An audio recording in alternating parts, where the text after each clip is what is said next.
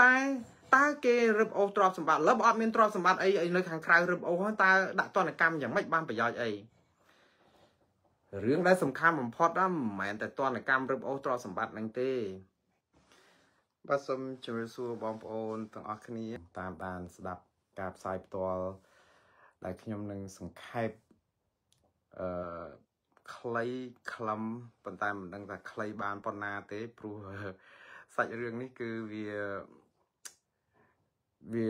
តិចថាចពាក់ចពិនដូចសឡកពឹសអញ្ចឹងបាទវាច្រើនអឺបតកលាគ្នាណាក៏ប៉ុន្តែហេតុផលដែលខ្ញុំសម្រាប់ចិត្តផ្សាយផ្ទាល់នៅពេលនេះ គឺដោយសារតែមានសំណូមពរជាច្រើន ពីបងប្អូនរបស់យើងដែលនៅក្នុងសហគមន៍សំណូមតបបងប្អូនហ្នឹងគឺថា គាត់បានស្ដាប់ព័ត៌មានផ្សព្វផ្សាយច្រើនដែរក៏ប៉ុន្តែ ហាក់បីដូចជានៅតែមិនអាចស្រាយចម្ងល់ច្រើនតកតងនឹងទណ្ឌកម្មរបស់សហរដ្ឋអាមេរិកដែលដាក់លើមន្ត្រីគណៈបកប្រជាជនកម្ពុជាថាតើដាក់នឹងវាមានទម្ងន់ប៉ុណ្ណា វាមានន័យយ៉ាងដូចម្ដេចបានប្រយោជន៍អីគេខ្លះអឺឮតែដាក់តនកម្មតែមិនដែលឮថាមន្ត្រីណា រៀងចាលឬក៏បានផលអីផងឬតែផ្សាយកោកកោកសឹកមាត់តដោកឆ្អែតតពោះកបីលក្ខនឹងលក្ខខ្ញុំមានសំណួរច្រើនណាស់ហើយខ្ញុំគិតថារាត្រីនេះអឺនឹងមានចម្លើយខ្លះបាទហើយសូមខន្តីអភ័យទោសចំពោះបងប្អូនយើង នៅឯប្រទេសកម្ពុជាម៉ោងនេះ គឺជត់ចិត្តចូលដល់កណ្ដាលត្រៀតហើយព្រោះម៉ោង10 7 11ទៅហើយ10យប់11យប់ហើយហើយអឺ ធ្វើការរកទទួលទានមួយថ្ងៃវាស់ល្ងាចយ៉ាងអឺអស់កម្លាំងនឿយកាយនឿយចិត្តច្រើនហើយហើយឥឡូវនេះប្រហែលជាដល់ពេលត្រូវចូលសម្រានផងហើយក៏នៅចំណាយពេលវេលាមកស្ដាប់ការផ្សាយផ្ទាល់របស់ខ្ញុំខ្ញុំសូមអរគុណបងប្អូនហើយបងប្អូននៅសហរដ្ឋអាមេរិកដូចជាមិនសូវអឺបញ្ហានឹងពេលវេលាខុសគ្នានឹងប្រហែលទេព្រោះនៅឡុងប៊ិចឥឡូវនេះម៉ោងព្រឹកប្រហែលជាម៉ោង7:09ព្រឹកទេ នៅឯ Lowell ឯនោះវិញតំបន់ភាគខាងកើតនៃសហរដ្ឋអាមេរិកនោះម៉ោងប្រហែលជា11ដូច្នេះ11ព្រឹកបាទដូចជិត12ហើយដល់ពេលទទួលទានអាហារថ្ងៃត្រង់ហើយអឺខ្ញុំដូចបានជំរាបអញ្ចឹងថាដើម្បីផ្សាយថ្ងៃនេះគឺមែនតើព័ត៌មានដែលផ្ដល់សំខាន់ជូនបងប្អូន គឺ ទី1ចង់ដឹងថាតើអុកញ៉ាលីងលីយ៉ុងផាត់ហ្នឹងជានរណាគាត់ធ្វើអីមានក្រុមហ៊ុនអីគេខ្លះ ហើយហេតុអីបានជាសហរដ្ឋអាមេរិកចាប់អារម្មណ៍នៅក្នុងការដាក់ទណ្ឌកម្មអុកញ៉ាខ្មែរនៅពេលដែលសហរដ្ឋអាមេរិកមានរឿងនៅលើពិភពលោកដោះស្រាយមិនចេះអស់ផងហ្នឹងរឿងនៅសហរដ្ឋអាមេរិកនេះក៏មកកណោក៏ដឹកដែរនឹងហេតុអីបានទៅឈឺក្បាលហាលថ្ងៃអីជាមួយនឹងមន្ត្រីអុកញ៉ាខ្មែរចុះប្រព័ន្ធតឡាការកម្ពុជានឹងយ៉ាងម៉េចដែរមិនចាត់ការខ្លួនឯងទៅចាំបាច់អំពលទុកអីដល់សហរដ្ឋអាមេរិកអីជាដើម ហើយតើការដាក់តនកម្មដល់លោកអុកញ៉ាលីយ៉ុងផាត់នេះតើតើដាក់តនកម្មយ៉ាងម៉េចប៉ះពាល់ដកបង្កក់ទ្រព្យសម្បត្តិនឹងដកទ្រព្យសម្បត្តិនឹងដកយ៉ាងម៉េចអឺបានផលអីយ៉ាងម៉េចហើយប៉ះពាល់អីគេខ្លះដល់អ្នករស៊ីជាមួយអុកញ៉ាលីយ៉ុងផាត់អឺតំណាក់តំណងការទូតរវាងប្រទេសកម្ពុជានិងសហរដ្ឋអាមេរិកអឺ មុខមាត់ប្រទេសកម្ពុជាលើឆាកអន្តរជាតិតកតងនឹងពាណិជ្ជកម្មហើយតើគេយកច្បាប់អីយកមកកាត់ដាក់ទណ្ឌកម្មប្រទេសមួយដែលជាប្រទេសអធិបតេយ្យមានបូរណភាពដែនដីមានរដ្ឋធម្មនុញ្ញរបស់ខ្លួនច្បាប់របស់ខ្លួនហេតុអីបានជាប្រទេសដទៃអាចលូកដៃជ្រៀតជ្រែកចូលនៅក្នុងកិច្ចការប្រទេសមួយទៀតបានអឺលក្ខនឹងលក្ខបាទព័ត៌មានទាំងអស់នេះនឹងមានស្រាយចម្ងល់ នៅរាត្រីនេះទាំងអស់ហើយយើងនឹងអរគុណដែរដែលបងប្អូន បានតាមដាន ស្ដាប់ការផ្សាយនេះហើយបើមានបញ្ហាសំឡេងឬក៏យ៉ាងម៉េចខ្ញុំជឿថាបងប្អូនបានទទួលសំឡេង ច្បាស់គ្រាន់បើហើយជាកិច្ចចាប់ផ្ដើមខ្ញុំសូមជម្រាបពីសាវតារបស់លោកលីយ៉ុងផាត់បន្តិចចោះ បងប្អូនខ្លះក៏បានជ្រាបដែរហើយព្រោះលីយ៉ុងផាត់ហ្នឹងគឺជាសឹងថាជន់ផ្អៀងផែនដីឯនៅស្រុកខ្មែរមាននរណាដែលមិនល្បីដូចលីយ៉ុងផាត់ឬក៏គិតមេងអីនោះសិតតែសទ្ធិសិតតែអ្នកដែលមានទ្រព្យមែនធ្វើសទ្ធិគឺមហាសទ្ធិទៀតបាទសិទ្ធិហ្នឹងបានន័យសំដៅថាអ្នកដែលមានលុយត្រឹម1លានដុល្លារហ្នឹងគេហៅថាសិទ្ធិហើយប៉ុន្តែនេះគឺជាមហាសិទ្ធិគឺមានលុយដល់100លានណាអាចដល់ពាន់លានណា គាត់ថាទ្រព្យសម្បត្តិគាត់មានប៉ុណ្ណាឲ្យប្រកាសនឹងគ្មានស្ថាប័នណាមួយដែលអាចនឹងទៅយកស្រង់ស្ថិតិនឹងឲ្យគ្រប់បានទេព្រោះយើងគ្មានដំណាភាពនៅក្នុងប្រព័ន្ធប្រកាសទ្រព្យសម្បត្តិនៅប្រទេសកម្ពុជាទេ អឺអ្នកដែលដឹងទ្រព្យសម្បត្តិច្រើនហើយអាចគេរឹបអូសបានហ្នឹងតែមន្ត្រីបពប្រឆាំងឯងដែលគេចង់ធ្វើបុកទុកបុកម្នេញហ្នឹងគឺមានទ្រព្យនៅណានទីងទួចហ្នឹងគេបោចយកអស់ហើយប៉ុន្តែបើគណៈបកប្រជាជនវិញចង់មានប្រមាណក៏គ្មាននរណាដឹងថាមានប្រមាណដែរព្រោះវាអត់មានតម្លាភាពទេនៅក្នុងប្រព័ន្ធគ្រប់គ្រងរដ្ឋរបស់យើងនេះហើយខ្ញុំ គិតថាខ្ញុំជាអ្នកផ្សាយព័ត៌មានក៏ត្រូវការស្រង់ស្ថិតិព័ត៌មាននឹងពីគ្រប់មជ្ឈដ្ឋានហ្នឹងដើម្បីមកជម្រាបជូនបងប្អូនថាបើមិនត្រូវ100%ក៏ត្រូវក្បែរនឹងដែរឲ្យឲ្យបងប្អូនពិចារណាមើលថាតើទ្របធននឹងយ៉ាងម៉េចយើងមិនទៅឈឺក្បាលហាលថ្ងៃនឹងរឿងបងប្អូនណាដែលរកទទួលទាន បានដោយគុណធម៌ដោយ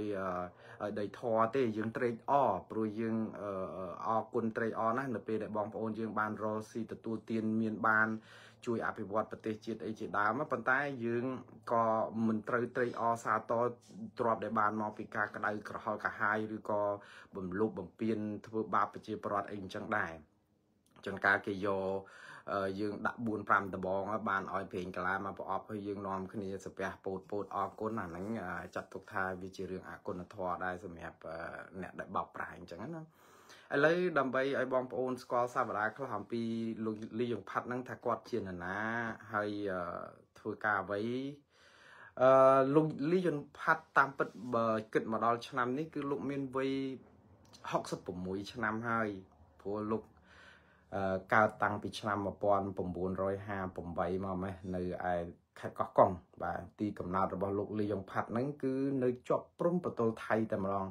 ដូច្នេះលោកមាននិន្នាការស្និទ្ធជាមួយនឹងខាងថៃច្រើនជាងហើយមិនតែប៉ុណ្ណោះលោកមានសញ្ជាតិថៃទៅទៀតអញ្ចឹងបានន័យថាលោកលីយ៉ុងផាត់គឺជាអ្នកដែលមានសញ្ជាតិ2នៅក្នុងជួរដឹកនាំគណៈបកប្រជាជន ដែលមានសញ្ជាតិ2ជាច្រើនក៏ប៉ុន្តែនៅក្នុងនោះគឺមានលោកលីយ៉ុងផាត់មួយដែរគឺសញ្ជាតិថៃហើយខ្ញុំបើកវងកញ្ចក់បន្តិចដែរថារឿងសញ្ជាតិ2នេះគឺខាងរដ្ឋាភិបាលកម្ពុជាហ្នឹងគឺដុតដៃដុតជើងសម្បើមខ្លាំងណាស់ ចង់ធ្វើច្បាប់ធ្វើអីដើម្បីកុំឲ្យអ្នកដែលមានសញ្ជាតិពីរហ្នឹងមកធ្វើកិច្ចការនយោបាយឬក៏ឈរឈ្មោះជានាយករដ្ឋមន្ត្រីអីលក្ខនឹងលក្ខហ្នឹងដើម្បីអីផ្ដាច់ជើងផ្ដាច់ដៃកុំឲ្យបងប្អូនខ្មែរនៅអាមេរិកកាណាដាអូស្ត្រាលីអីជាពិសេសអ្នកដែលមានប្រជាប្រិយអីហ្នឹងចូលនៅក្នុងឆាកនយោបាយទៅប្រកួតប្រជែងយកចែងតំណែងនាយករដ្ឋមន្ត្រីឬក៏តំណែងជាន់ខ្ពស់ក្នុងគណៈបកប្រជាជនកម្ពុជានិងរដ្ឋាភិបាលខ្មែរសប្តាហ៍ថ្ងៃគឺបានន័យថាជាយន្តការ កាត់ផ្ដាច់ដៃជើងអ្នកដែលស្នេហាជាតិនៅខាងក្រៅប្រទេសហ្នឹងមិនឲ្យចូល នៅក្នុងការឈឺឆ្អាលរឿងកិច្ចការដឹកនាំប្រទេសកម្ពុជាបានទេដោយសារតែរឿងបិទសិទ្ធនៅក្នុងការដែលមានសញ្ជាតិពីរហ្នឹងក៏ប៉ុន្តែប្រហែលជាលោកលីយ៉ុងផាត់មិនទៅឈឺក្បាលរឿងកាន់ការជានាយករដ្ឋមន្ត្រីឬអ្នកដឹកនាំអីជាន់ខ្ពស់អីទេព្រោះលោកមានសញ្ជាតិពីរតែយ៉ាងណាក៏លោកលីយ៉ុងផាត់គឺជា សមាជិកព្រឹទ្ធសភារបស់គណៈបកប្រជាជនកម្ពុជាដែរសប្តាហ៍ថ្ងៃគឺលោកជាសមាជិកព្រឹទ្ធសភាលោកគឺជាអ្នកដែលតាក់តែងច្បាប់ដែរណាព្រោះពាក្យថាសមាជិកព្រឹទ្ធសភាហ្នឹងគឺភាសាអង់គ្លេសហៅថា law maker គឺបានន័យថាជាអ្នកធ្វើច្បាប់ជាអ្នកតាក់តែងច្បាប់ជាអ្នកដែលបង្កើតច្បាប់ហើយនៅពេលដែលឮថាអូអ្នកតាក់តែងច្បាប់បង្កើតច្បាប់ធ្វើច្បាប់ហើយទៅជាប្រព្រឹត្តអំពើល្មើសអូក្រិតពេញទឹកពេញដីហ្នឹង មានមានការភ្ញាក់ផ្អើលដែរតែហេតុអីរឿងនឹងកើតឡើងយើងនឹងបកស្រាយលម្អិតជុំរឿងនេះអញ្ចឹងក្រៅពីគាត់មានសញ្ជាតិពីរជាថៃផងហ្នឹងគឺតាមពិតឈ្មោះថៃរបស់គាត់នឹងគេស្គាល់គាត់ថាជាសុផាផាហើយនៅថៃនឹងក៏គេស្គាល់លោកលីយ៉ុងផាត់ច្បាស់ដូចថ្ងៃអញ្ចឹងគេហៅគាត់ថាជាស្ដេចកោះកុងទៀតផងអឺព្រោះគាត់ជន់ផ្អៀងមកខេត្តកោះកុងហើយមិនតែផ្អៀងកោះកុងនេះជន់មកផ្អៀងដល់ ភ្នំពេញនឹងទូទាំងប្រទេសតែម្ដងព្រោះក្រុមហ៊ុនគាត់មានច្រើនហើយខ្ញុំនឹងរៀបរាប់ប្រាប់ថាតើលោកលីយ៉ុងផាត់មានក្រុមហ៊ុនច្រើនប្រមាណហើយនៅទីណាខ្លះតែឥឡូវប្រាប់ពីទួនាទីតំណែងគាត់សិនអញ្ចឹងសមាជិកព្រឹទ្ធសភាសប្ងៃលោកក៏ជាមន្ត្រីជាន់ខ្ពស់ដែលជាដៃស្ដាំរបស់លោកនាយរដ្ឋមន្ត្រីហ៊ុនសែនកាលពីលោកហ៊ុនសែននៅកាន់ជានាយរដ្ឋមន្ត្រីគឺជាទីប្រឹក្សាផ្ទាល់របស់លោកនាយរដ្ឋមន្ត្រីហ៊ុនសែនកាលពីនោះ ថ្មីថ្មីនឹងដែរទេបាទគឺកុំតែគាត់ឲ្យតំណែងហ្នឹងទៅហ៊ុនម៉ាណែតទៅកុំអីហ្នឹងគឺលោកលីយ៉ុងផាត់ហ្នឹងនៅតែជាទីប្រឹក្សានាយករដ្ឋមន្ត្រីប៉ុន្តែសប្តាហ៍ថ្ងៃតំណែងធំធំរបស់គាត់នឹងនៅតែមានច្រើនទៀតគឺគាត់ជា ប្រធាន សមាគមអុកញ៉ាកម្ពុជាបងប្អូនគ្រាន់តែឮថាពាក្យនេះក៏ព្រឺសបល់ដែរព្រោះសមាគម អុកញ៉ាកម្ពុជា ប្រធានសមាគមទៅទៀតហើយយើងនៅពេលដែលឮថាប្រធានសមាគមត្រូវរងតនកម្មជុំទិសបែបនេះទៅចុះសមាគមនឹងយ៉ាងម៉េចយើងមិនថាអុកញ៉ាទាំងអស់សុទ្ធតែខូចឬក៏អីទេប៉ុន្តែគេឈ្មោះអុកញ៉ាតើនឹងប៉ះពាល់ប៉ុណ្ណានៅពេលដែលប្រធានសមាគមអុកញ៉ាคล้ายទៅជាអក្រិតជនឬក៏នៅក្នុងបញ្ជីខ្មៅរបស់អង្គការឬក៏ស្ថាប័នប្រទេសនៅក្រៅប្រទេសដាក់ទណ្ឌកម្មអញ្ចឹង ក្រៅពីងារជាប្រធានសមាគមអង្គការកម្ពុជាលោកលីយ៉ុងផាត់ក៏ជាសមាជិកអចិន្ត្រៃយ៍នៃគណៈមជ្ឈិមរបស់គណៈបកប្រជាជនកម្ពុជា ការងារតំណែងនេះខ្ពស់ណាស់គឺមជ្ឈិមបក គឺតំណែងចាត់ចែងកិច្ចការផ្ទៃក្នុងរបស់បកការសម្រេចអីផ្សេងផ្សេងរបស់បកហ្នឹងក៏ច្រើនសន្ធឹកអញ្ចឹងទាំងក្នុងសភាក៏លោកមានទូនីតិប្រសិទ្ធិនៅក្នុងបក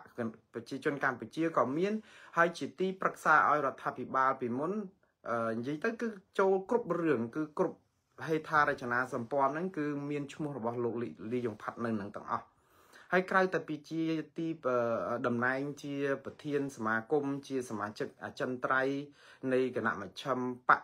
ប្រជាជនកម្ពុជានឹងលោកក៏ជាប្រធានក្រុមហ៊ុនលីយ៉ុងផាត់បាទហើយខ្ញុំនឹងនិយាយថាតើប្រធានក្រុមហ៊ុនលីយ៉ុងផាត់ហ្នឹងវាមានផលអីតាក់ទងនឹងទនកម្មនេះក្រុមហ៊ុនលីយ៉ុងផាត់ Group នេះគឺ LYP នេះគឺជាក្រុមហ៊ុនធំមែនតើដែលសឹងថាដៃមឹក គឺមានហេដ្ឋារចនាសម្ព័ន្ធចម្រុះនៅក្នុងការដែលជ្រកក្រោមស្លាកក្រុមហ៊ុនលីយ៉ុងផាត់នឹងដែលដែលមានទាំងក្រុមហ៊ុនបូមខ្សាច់ក្រុមហ៊ុនអឺអឺស្កអំពៅក្រុមហ៊ុនចំការអំពៅ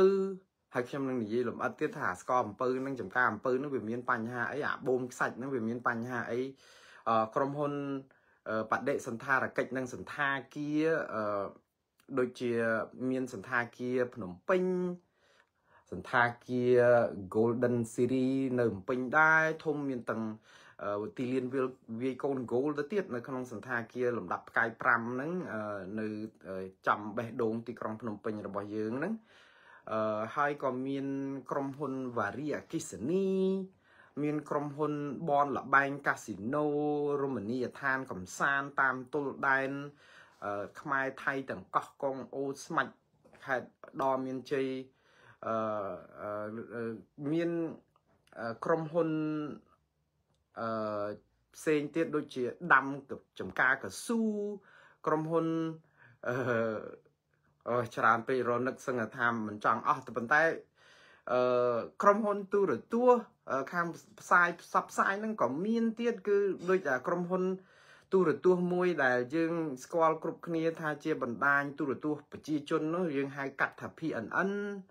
នឹងក៏ជាកម្មសិទ្ធិរបស់លោកលីយ៉ុងផាត់ដែរហើយក្រុមហ៊ុនលីយ៉ុងផាត់ Group ហ្នឹងគឺគ្រប់គ្រងដីអចលនទ្រព្យនៅប្រទេសកម្ពុជាស្ទើរទូទាំងប្រទេសហើយជាពិសេសហ្នឹងគឺនៅតំបន់ម្ដុំចុះពីស្ពានលេខ 6A ស្ពានជ្រោយចវ៉ាទៅចុះទៅជើងចេះតិចទៅហ្នឹងចន្លោះពីដៃទលេសាបហើយនឹងផ្លូវជាតិលេខ 6A ហ្នឹងអូយកកឹកកក្រែងនៅម្ដុំចិត្តណោះចិត្តប្រែកក្តាមចិត្តអីហ្នឹងឃើញ ជាសំណង់ផ្ទះល្វែងឬក៏បរិយអីហ្នឹងគឺក្តោបក្តាប់ដោយក្រុមហ៊ុនលីយ៉ាងផាត់គម្រោងច្រើន100លានដុល្លារគាត់ថាទូរទស្សន៍ PNN ដែលគាត់កាលបើកកាលពី2015ហ្នឹងគឺ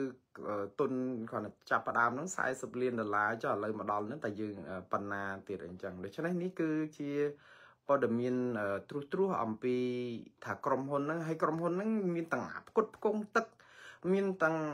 ក្រុមហ៊ុនទេសចរក៏មានដែរហើយសួនសត្វក៏មានដែរនៅ Safari ខេត្តកោះកុងហ្នឹងហើយហាងទំនិញលើកលែងពុនហ្នឹងក៏មាន ខាងដឹងហើយកសិកម្មនិងឧស្សាហកម្មយើងមានចការកស៊ូមានរោងចក្រផលិតស្ករសសេវាកម្មតំបន់សេដ្ឋកិច្ចពិសេសនិងកំពង់ផែទឹកជ្រៅយើងសាកគិតមើលមើលថាគ្រាន់តែរបបប៉ុណ្ណឹងតែមួយហ្នឹងគឺ អឺអាចខ្ទង់ដល់10លានដុល្លារហើយហើយចុះបូកចូលគ្នាក្រុមហ៊ុនរាប់សិបបែបនេះតើលោកលីយ៉ុងផាត់នឹងអាចមានប្រាក់ឬក៏អាចថាមានធនធាននឹងប្រមាណបបើបូកទៅមិនតិចជាងពាន់លានទេដូច្នេះសម្រាប់លោកលីយ៉ុងផាត់ណាកុំថាឡើយមួយជីវិតលោកដែលចាយមិនអស់ណាសំបីតែ100ជីវិតរបស់លោកទៀតក៏ចាយមិនអស់ដែរព្រោះប្រាក់នេះគឺវាច្រើនសន្ធឹកសន្ធាប់ណា ដល់តែច្រើនហូរហៀងចឹងហើយបានជាលោកคล้ายទៅជាប្រភពហិរញ្ញវត្ថុដ៏ធំមួយសម្រាប់ជួយគណៈបកប្រជាជនកម្ពុជាហើយរឿងនេះគឺជារឿងដែលมันអាចប្រកែកបានទេព្រោះលោកគឺជាអ្នកផ្គត់ផ្គង់គណៈបកកាន់អំណាចនឹងតាំងតែពីអើយមកហើយហើយយើងដឹងហើយថានៅពេលដែលអ្នកណាជួយទំនុកបំរុងគណៈបកកាន់អំណាចហ្នឹងគឺអង្គើអក្រិតផ្សេងផ្សេងហ្នឹងច្រើនតែទទួលបានការ បិទបាំងឬក៏ការពារកាងរហូតព្រោះវាជាទំនាស់ផលប្រយោជន៍បើធ្វើ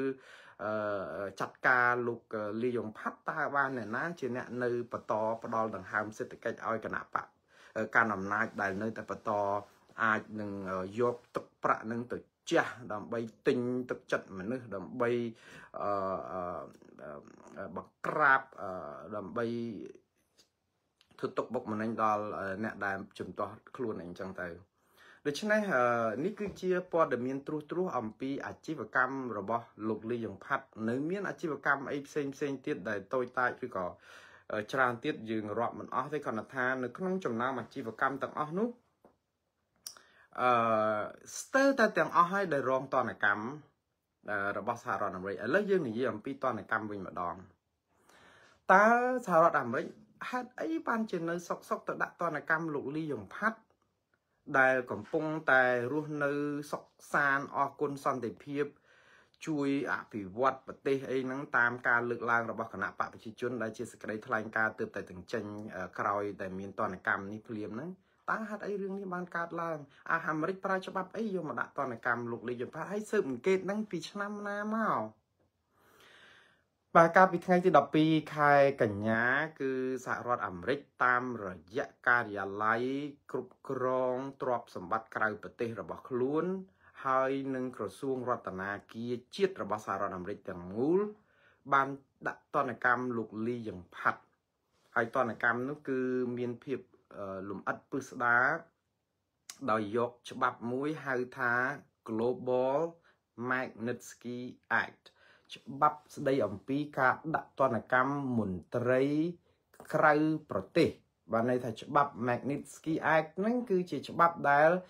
គេបង្កើតឡើង ហើយមិនមែនមានតែសហរដ្ឋអាមេរិកទេឥឡូវនេះមានដល់អង់គ្លេសមានប្រទេសអូស្ត្រាលីអីក៏គេពិនិត្យមើលយន្តការនៃច្បាប់ហ្នឹងដើម្បីដាក់ទោសទណ្ឌមន្ត្រីអឺរដ្ឋាភិបាលក្រៅប្រទេសព្រោះដោយសារបើមិនមានច្បាប់ Magnitsky Act នេះទេ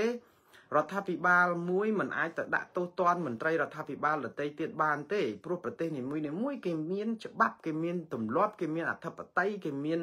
អឺបូរណភាពដែនដីគេមានរដ្ឋធម្មនុញ្ញរបស់គេប្រព័ន្ធច្បាប់ក្រមព្រហ្មទណ្ឌរបស់គេនៅក្នុងការកាត់ទោសបុគ្គលដែលជាជាតិសាសន៍របស់គេដូច្នេះជាតិសាសន៍ដទៃ អត់អាចលូកដៃបានទេដូចគ្នាដែរអាមេរិកកាំងក៏អត់មានសិទ្ធិអីទៅលូកដៃ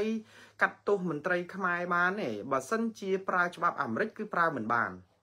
ព្រោះច្បាប់អាមេរិកបានអនុវត្តតែចំពោះមន្ត្រីជនជាតិអាមេរិកឬអ្នកដែលនៅរស់នៅលើទឹកដីអាមេរិកទេក៏ប៉ុន្តែនៅពេលដែលគេបង្កើតច្បាប់ Global Magnitsky Act នេះគឺច្បាប់ស្តីអំពីការដាក់ទណ្ឌកម្មមន្ត្រីក្រៅប្រទេសនេះ គឺដើម្បីដោះស្រាយបញ្ហាទាំងឡាយណាដើម្បីអី ជាការប្រាប់ឬក៏ប្រមានដល់រដ្ឋាភិបាលបរទេសថាកុំជ្រុលហួសហេតុពេកយើងធ្វើអីបានស្រេចតែចិត្តមែនក៏ប៉ុន្តែច្បាប់នៅក្នុងប្រទេសអ្នកឯងមិនអាចកាត់ទោសអ្នកឯងបានមែនក៏ប៉ុន្តែច្បាប់នៅឆាកអន្តរជាតិគេមិនបិទភ្នែកអោបដៃមើលការបំពីបំពេញសិទ្ធិមនុស្សនិងប្រជាធិបតេយ្យអីយ៉ាងងងើលអញ្ចឹងទេដូច្នេះគេយកច្បាប់នោះដើម្បីរកយុត្តិធម៌មួយផ្នែកទៀតនៅពេលដែលប្រព័ន្ធយុត្តិធម៌នៅក្នុងប្រទេសនោះ គឺមិនមានបានន័យថាជនរងគ្រោះរងតែទឹកភ្នែកអាញាធរអោបដៃឈរមើលដោយសារតែខ្លាចទំនាស់ផលប្រយោជន៍ដូចខ្ញុំជំរាបពីខាងដើមចា៎ដូច្នេះច្បាប់ Magnitsky Act នេះគឺវា global បានន័យថាទូទាំងពិភពលោកសហរដ្ឋអាមេរិកប្រើច្បាប់នេះអាចយកទៅដាក់ទោសមន្ត្រីណាក៏បានដែរនៅប្រទេសណាក៏បានដែរព្រោះវាមានដែនវិសាលភាពមិនកំណត់ប្រទេសទេ យកច្បាប់នេះគឺដាក់មន្ត្រីណាក៏បានមន្ត្រីរុស្ស៊ីមន្ត្រីអាហ្វហ្គានីស្ថានមន្ត្រីនៅប្រទេសណាក៏ដោយហើយទោសទណ្ឌនេះគឺមិនមែនទៅតែធ្លាក់មកលើលោកលីយ៉ុងផាត់ទេប្រទេសកម្ពុជានេះមកដល់ពេលនេះនឹងមានមន្ត្រីខ្មែរជាហោហែមករងតែសម្ពាធតរហូតរងតែតនកម្មអញ្ចឹងជាហោហែមកតា ក៏ប៉ុន្តែសួរតើតើគេប្រើច្បាប់នេះឲ្យស្រាវជ្រាវប៉ុណ្ណាលំអិតប៉ុណ្ណាបងប្អូនខ្លះសួរថាអូយអាមេរិកនេះវាចេះតែដាក់តនកម្មផ្ដេសផ្ដាស់គ្មានបានពិនិត្យមើលអីឲ្យស្រួលបួលទេនេះជាការលើកឡើងគ្មានហេតុផលទេសហរដ្ឋអាមេរិកក៏ត្រូវការតំណាក់តំណងការទូតល្អជាមួយនឹងប្រទេសកម្ពុជាដែរនៅពេលដែលមានការដាក់ទណ្ឌកម្មបែបនេះថាតើយើងគិតមើលមើលតើវាមានផលល្អកកយ៉ាងម៉េចជាមួយនឹងតំណាក់តំណងរវាងប្រទេសទាំងពីរ អឺរដ្ឋាភិបាលកម្ពុជាចង់ចង់ច្បាស់ជាមិនពេញចិត្តនឹងរដ្ឋាភិបាលអាមេរិកទេដែលដាក់ទណ្ឌកម្មមន្ត្រីរបស់ខ្លួនក៏ប៉ុន្តែយើងមិនទាន់ឃើញមានប្រតិកម្មពីរដ្ឋាភិបាលទេដោយសារតែរឿងនេះគឺរដ្ឋាភិបាលកម្ពុជាអាចប្រយ័ត្នប្រយែងដែរព្រោះ ត្រឹមតែមានសេចក្តីថ្លែងការពីគណៈបកប្រជាជនកម្ពុជា ការពីជំហរមន្ត្រីគណៈបកគណៈអចិន្ត្រៃយ៍របស់ខ្លួនគណៈមជ្ឈិមមន្ត្រីអចិន្ត្រៃយ៍របស់គណៈមជ្ឈិមរបស់ខ្លួនក្នុងជួរគណៈបកប្រជាជន ហើយក៏ជាកោតាគណៈបកប្រជាជន ក្នុងតំណែងព្រឹទ្ធសភាដែរអញ្ចឹងក្នុងនេះយើងឃើញសារមកការពីលោកលីយ៉ុងផាត់ប៉ុន្តែក្នុងនាមជារដ្ឋាភិបាលអាចត្រូវការប្រយ័ត្នប្រយែងដែរព្រោះដោយសារអីអឺនេះជារឿងបុគ្គល ហើយសួរថាបុគ្គលនឹងវាប៉ះពាល់អីខ្លះដល់ជាតិដល់ប្រជាពលរដ្ឋទូទៅដល់សេដ្ឋកិច្ចដល់មុខមាត់កម្ពុជាខ្ញុំនឹងបកស្រាយបន្ថែមទៀតតែខ្ញុំនឹងបញ្ចប់នៅត្រឹមថាការដែលស្រាវជ្រាវនេះគឺអាមេរិកស្រាវជ្រាវយូរឆ្នាំណាស់ហើយអង្គការដែលអាមេរិកដែលពឹងពាក់នឹងគឺមានតាំងអង្គការឃ្លាំមើលសិទ្ធិមនុស្សអន្តរជាតិរបាយការណ៍របស់អង្គការសិទ្ធិមនុស្សអង្គការសហជីវជាតិ អង្គការ Global Witness អង្គការបរិស្ថានអង្គការស្អីអន្តរជាតិសិទ្ធិមនុស្សនិងប្រជាធិបតេយ្យច្រើនទៀតណាស់ដែលគេសរសេររបាយការណ៍ប្រចាំឆ្នាំហើយមានឈ្មោះលោកលីយ៉ុងផាត់នឹងចូលទៅក្នុងនឹងរាល់តែឆ្នាំទេឥឡូវយើងសាកគិតមើលមើលរឿងខ្មោចក្តៅកគុកដែលធ្វើឲ្យពិភពលោកអង្រួនដែលស្គាល់ពីខ្មែរយើងច្បាស់នឹងគឺកាលពីឆ្នាំ2012ឆ្នាំ2013 បងប្អូនប្រហែលជានៅចាំហើយនៅពេលដែលមានដុតផ្ទះប្រជាពលរដ្ឋចាបណ្ដេញប្រជាពលរដ្ឋដោយបង្ខំនៅខេត្តកំពង់ស្ពឺនៅខេត្តកោះកុងតាក់តុងចំការអំពៅនោះមានចាំទេ ចំការអំពៅរបស់ក្រុមហ៊ុនលីយ៉ុងផាត់ហ្នឹងក្រុមហ៊ុនដែលមានហ៊ុនភាគហ៊ុនរបស់លោកលីយ៉ុងផាត់នៅក្នុងហ្នឹងដែរតែក្រោយមកក៏ក្រុមហ៊ុនហ្នឹងបានប្រកាសថាខ្លួនមិនមានភាគហ៊ុនច្រើនទេមានតែត្រឹម10 20%ទេតាមពិតជាក្រុមហ៊ុនថៃនិងក្រុមហ៊ុនតៃវ៉ាន់អីចឹងក៏ប៉ុន្តែនៅពេលដែលក្រុមហ៊ុនហ្នឹងបើកដំបូងពី2006ហ្នឹងអាក្រុមហ៊ុនស្កអំពៅអឺនេះហ្នឹងគឺមានភាគហ៊ុនរបស់លោកលីយ៉ុងផាត់នៅក្នុងហ្នឹងតើបានន័យថា ក្រុមហ៊ុនទាំងអស់នោះមិនអាចមករកស៊ីអីមករឹបអូសទ្រព្យសម្បត្តិឬក៏ធ្វើទុកបុកម្នេញប្រជាពលរដ្ឋទុនខ្សោយនៅស្រុកខ្មែរបានទេបើមិនមានខ្នងបង្អែកនៅក្នុងប្រទេសកម្ពុជាហើយបើមិនមានខ្នងបង្អែកហ្នឹងគឺជាមន្ត្រីជាន់ខ្ពស់នៅក្នុងគណៈបកប្រជាជនទៀតបើត្រឹមខ្នងបង្អែកជាមន្ត្រីគណៈបកប្រឆាំងជាប់គុកទាំងមន្ត្រីបកប្រឆាំងជាប់គុកទាំងអ្នកចូលរហស៊ីនឹងអស់បាត់ហើយដូច្នេះរឿងហ្នឹង2006 យើងដឹងហើយកាល2006ពេលដែលក្រុមហ៊ុនចំការកស៊ូណាស្កសរបស់លោកលីយ៉ុងផាត់អីហ្នឹងមកវិនិយោគហ្នឹងដែលមានស្កអំពៅស្កអីណាទៅនាំចូលទៅសហរដ្ឋអាមេរិកឬក៏សហភាពអឺរ៉ុបឯណាវាអត់ទេក៏ប៉ុន្តែពេលហ្នឹងគឺសហគមន៍អឺរ៉ុបពេលហ្នឹងគេផ្ដល់ការអនុគ្រោះពន្ធ EBA ឲ្យកម្ពុជាហើយនៅពេលដែលមានការអនុគ្រោះពន្ធបែបនេះគឺក្រុមហ៊ុនជាច្រើនកេងចំណេញដើម្បីដូចថា ដាំដំណាំទៅរួចទៅយកអាភោគផលកសិផលហ្នឹងយកទៅលក់នៅទីផ្សារអឺរ៉ុបព្រោះវាបានថ្លៃច្រើនដោយសារតែគេអត់យកពន្ធអញ្ចឹង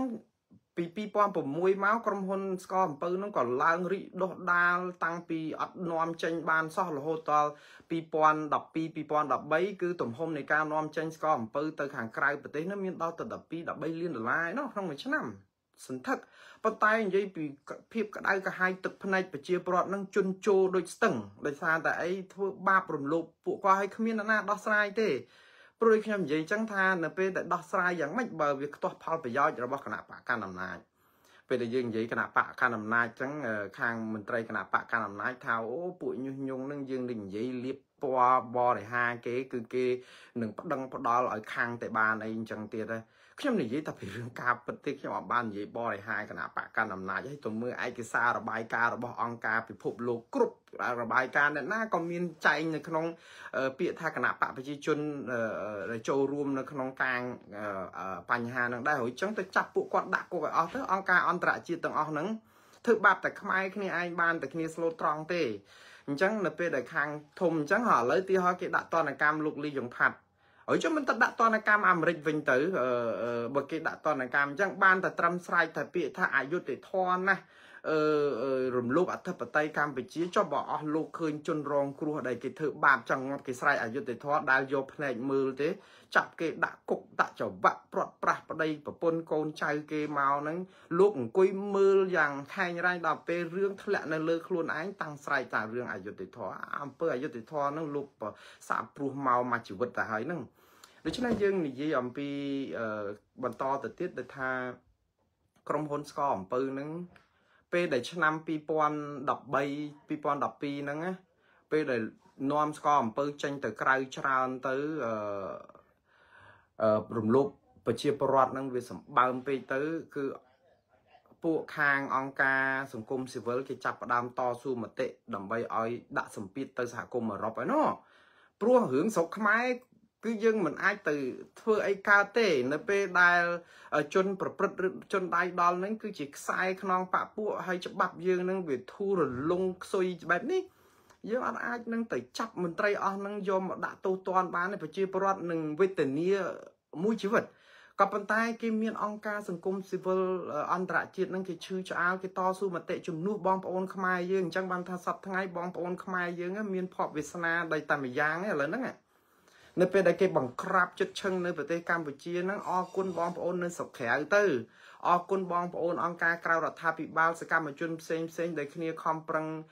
គៀករការជួយបងប្អូនយើងអីអញ្ចឹងហ្នឹងកុំឲ្យគេរំលោភរំពានហ្នឹងវាជ្រុលហួសហេតុពេកតែប៉ុណ្ណឹងបើសិនជាចាំពឹងអីនៅប្រព័ន្ធស្រុកខ្មែរ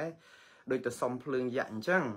ដូច្នេះនៅពេលដែលស្ករនឹងចាប់ផ្ដើមកើនឡើងខ្លាំងហើយដល់ពេលដែលអត់មានដោះស្រាយសោះដុតផ្ទះប្រជាពលរដ្ឋរំលោភដីធ្លីខ្លាំងពេកទៅសហគមន៍អឺរ៉ុបក៏ទាល់ច្រកដែរព្រោះអីខ្លួនមានកាតព្វកិច្ចសិលធម៌និងគុណធម៌នៅក្នុងការដែល យើងឲ្យ EBA គេយើងយកផលិតផលនឹងយកមកលក់នៅសហគមន៍អឺរ៉ុបប្រជាពលរដ្ឋអឺរ៉ុបដែលបងពុនយកស្ករនឹងមកតែស្ករនឹងជាស្ករឈាម គេឲ្យនិយមន័យថាជាស្ករឈាមធ្វើបាបប្រជាពលរដ្ឋវេទនាតើលេបស្ករនឹងចូលទេដូច្នេះសហគមន៍អឺរ៉ុបខ្លួនឯងហ្នឹងក៏មានកាតព្វកិច្ចសិលធម៌ដែរចាប់ផ្ដើមលែងទិញផលិតផលនោះគឺគេធ្វើពហិការដែរគេលឺស្ករឈាមគេញាក់សាច់ដែរ អញ្ចឹងទៅធ្វើឲ្យអាការនាំតំណែងស្ករអំពៅទៅសហរដ្ឋអាមេរិកទៅអឺរ៉ុបហ្នឹងក៏ធ្លាក់ចុះជាលំដាប់តាំងតែពីឆ្នាំ2013ហ្នឹងមកហើយនៅពេលដែលស្ករឈាមហ្នឹងពាក់ព័ន្ធនឹងក្រុមហ៊ុនលីយ៉ុងផាត់ហ្នឹងលោកលីយ៉ុងផាត់ហ្នឹងក៏មានការពាក់ព័ន្ធជាមួយនឹងក្រុម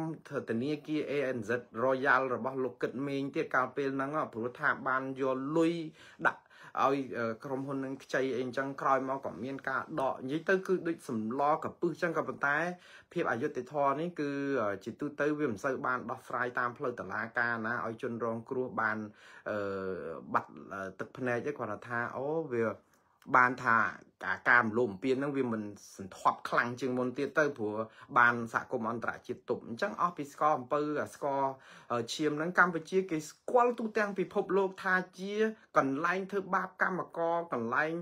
រំលោភដីធ្លីរំលោភសិទ្ធិមនុស្សអីអញ្ចឹងពលកម្មកុមារអីអញ្ចឹងយើងគេយើងហ្នឹងអាស្រូវរហូតអញ្ចឹងហើយអ្នកដែលបង្កឲ្យមានគេអាស្រូវហ្នឹងគឺតែមនុស្សស្និទ្ធនៅក្នុងជួររដ្ឋាភិបាលឬក៏ក្នុងគណៈបកប្រជាជនកម្ពុជាដែលត្រូវបានគេកាងហ្នឹងឯងមិនដែលឃើញគេអាស្រូវហ្នឹងកើតឡើងមកពីបងប្អូនសកម្មជន ដែលតវ៉ារឿងដីធ្លីគេវាយដំនឹងអីទេព្រោះគាត់ជាជនរងគ្រោះអញ្ចឹងអ្នកដែលធ្វើឲ្យជាតិខ្មែរយើងអាប់អោនកិត្តិយសហ្នឹងអត់ដែលមានសកម្មជននយោបាយដែលតស៊ូធ្វើបាតកម្មតាមផ្លូវអត់ដែលទេអ្នកទាំងអស់នោះអត់ដែលធ្វើឲ្យជាតិអាប់អោនទេគឺដោយសារតែមន្ត្រីនៅក្នុងជួររដ្ឋាភិបាលនឹងឯងដែលធ្វើឲ្យជាតិអាប់អោនដែលគ្នានាំគ្នាតស៊ូដើម្បីស្ដារឈ្មោះជាតិមកវិញតា ស្ដារកិត្តិយសជាតិយើងមកវិញតាតែដល់ពេលឲ្យត្រូវគេលៀបពណ៌ទៀតថាពួកបំផ្លាញបោកឆ្នាំងបាយប្រជាជនឯងអីលាក់នឹងលាក់អាខ្លួនឯងប្រព្រឹត្តខុសអត់ព្រមដោះស្រាយគេស្រែកថាគេជាអ្នកញើសញងពិភពលោកយើងវាអយុត្តិធម៌ហួសហេតុពេកហើយតើអំពើអយុត្តិធម៌ហ្នឹងវាអាចនៅយូរបានប៉ុណ្ណាខ្ញុំជឿថាពេលខ្លះអឺ ទស្សនកម្មផលវាអាចនឹងធ្លាក់អញ្ចឹងដែរយូរយូរទៅមានការដាក់ទណ្ឌកម្មអីអញ្ចឹងទៅធ្វើឲ្យបងប្អូនប្រជាពលរដ្ឋដែលរងគ្រោះរងទុក្ខវេទនាហ្នឹងក៏ឃើញថាអូមានយុតិធធខ្លះដែរប៉ុន្តែវាមិនទាន់គ្រប់គ្រាន់ទេឥឡូវយើងនិយាយអំពីតកតងនឹងអឺអស់ពីស្កអំពើហ្នឹងវាឈប់វាលែងមាន អឺនេះទៅក្រុមហ៊ុនលីយ៉ុងផាត់ហ្នឹងបើតាមដឹងហ្នឹងក៏ផ្ទេកម្មសិទ្ធិអីហ្នឹងព្រោះថាវាទៅមុខលែងរួចហើយក៏ឲ្យផ្ទេទៅក្រុមហ៊ុនថៃនិងក្រុមហ៊ុនតៃវ៉ាន់ហ្នឹងផ្ដាច់មុខអីអញ្ចឹងទៅហើយក៏ក្រុមហ៊ុនទាំងអស់ហ្នឹងក៏មិនកាក់កបអីប្រមាណដែរមិនអាចរកស៊ីបានទេបើគ្មានខ្នងបង្ហាយកាងព្រោះតាមកមានដីធ្លីអីអញ្ចឹងរំលោភដីធ្លីអីហ្នឹងពួកគេរកស៊ីវាមកកើតតែបើសិនជាមានខ្នងកាង អឺរកស៊ីអីក៏បានដែរមលោបអីក៏បានដែរអញ្ចឹងចិត្តទៅមុខរួចទៅអញ្ចឹងអ្នកដែលរកស៊ីថ្លៃធ្នូពិបាករកបន្តិចនៅក្នុងបរិបទប្រជាប្រជានៅកម្ពុជាយើងសប្តាហ៍អស់ពីក្រុមហ៊ុនហ្នឹងឥឡូវយើងមើលថាតើទណ្ឌកម្មអាមេរិកគេដាក់ទណ្ឌកម្មលើក្រុមហ៊ុនប្រមាណរបស់លោកលីយ៉ាងផាត់យ៉ាងហោចណាស់ក៏មានក្រុមហ៊ុនធំធំចំនួន5ដែររបស់លោកលីយ៉ុងផាត់ហ្នឹងដែលរងទណ្ឌកម្ម យើងដឹងមួយដែលអាមេរិកដាក់ទណ្ឌកម្មដំបូងគេគឺក្រុមហ៊ុនលីយ៉ុងផាត់ហ្នឹងតែម្ដងដែលខ្ញុំជម្រាបថាតាមពិតក្រុមហ៊ុនលីយ៉ុងផាត់ហ្នឹងគឺជាក្រុមហ៊ុនសឹងតែថាក្របដណ្ដប់រាល់ក្រុមហ៊ុនទាំងអស់ដែលគ្រប់គ្រងរបស់លោកលីយ៉ុងផាត់ហ្នឹងបាត់ទៅហើយអា LYP ហ្នឹងវាមានតាំងចលនាទ្របវាមានទាំងក្រុមហ៊ុនច្រើនផ្សេងផ្សេងទៀតនៅក្នុងក្រកជ្រកក្រោមឆ័ត្រនៃក្រុមហ៊ុនហ្នឹងក្រុមហ៊ុនហ្នឹងកំពុងតែរងតនកម្មនៅក្នុងបញ្ជីខ្មៅរបស់អាមេរិកហើយក្រៅពីហ្នឹងយើងមាន ជាសន្តាគារភ្នំពេញនៅទីក្រុងភ្នំពេញហ្នឹងក៏រងតនកម្មដែរក្នុងបញ្ជីខ្មៅដែរហើយខ្ញុំនឹងបញ្យល់ថាតើតនកម្មហ្នឹងគេដាក់យ៉ាងម៉េចអឺសន្តាគារ Golden City នៅមានន័យថាទីលានវាយកូនគោលនៅភ្នំពេញហ្នឹងក៏រងតនកម្មដែរផ្កាយ5អឺមានកាស៊ីណូបនលបែងកាស៊ីណូនៅកោះកុងហ្នឹងក៏រងតនកម្មដែរធំណាស់អាកាស៊ីណូហ្នឹង អឺបនលបែងកាស៊ីណូនិងរមណីយដ្ឋានមានសន្តាគារផងនៅអូស្មាច់ហ្នឹងក៏រងតនកម្មដែរដូច្នេះអឺនិយាយទៅគឺមាន5ឈ្មោះ5ធំធំប៉ុន្តែខ្ញុំជឿថាសន្តាគារស្អីស្អីផ្សេងផ្សេងហ្នឹងមិនសំខាន់ ដោយអ្វីដែលថាថាជាក្រុមហ៊ុនធំរបស់លោកលីយ៉ាងផាត់ហ្នឹងដែលមានទាំងសន្តាគារមានកាស៊ីណូមានបនលបែងមានក្រុមហ៊ុនផ្គត់ផ្គង់ទឹកមានវ៉ារីអកេសនីមាន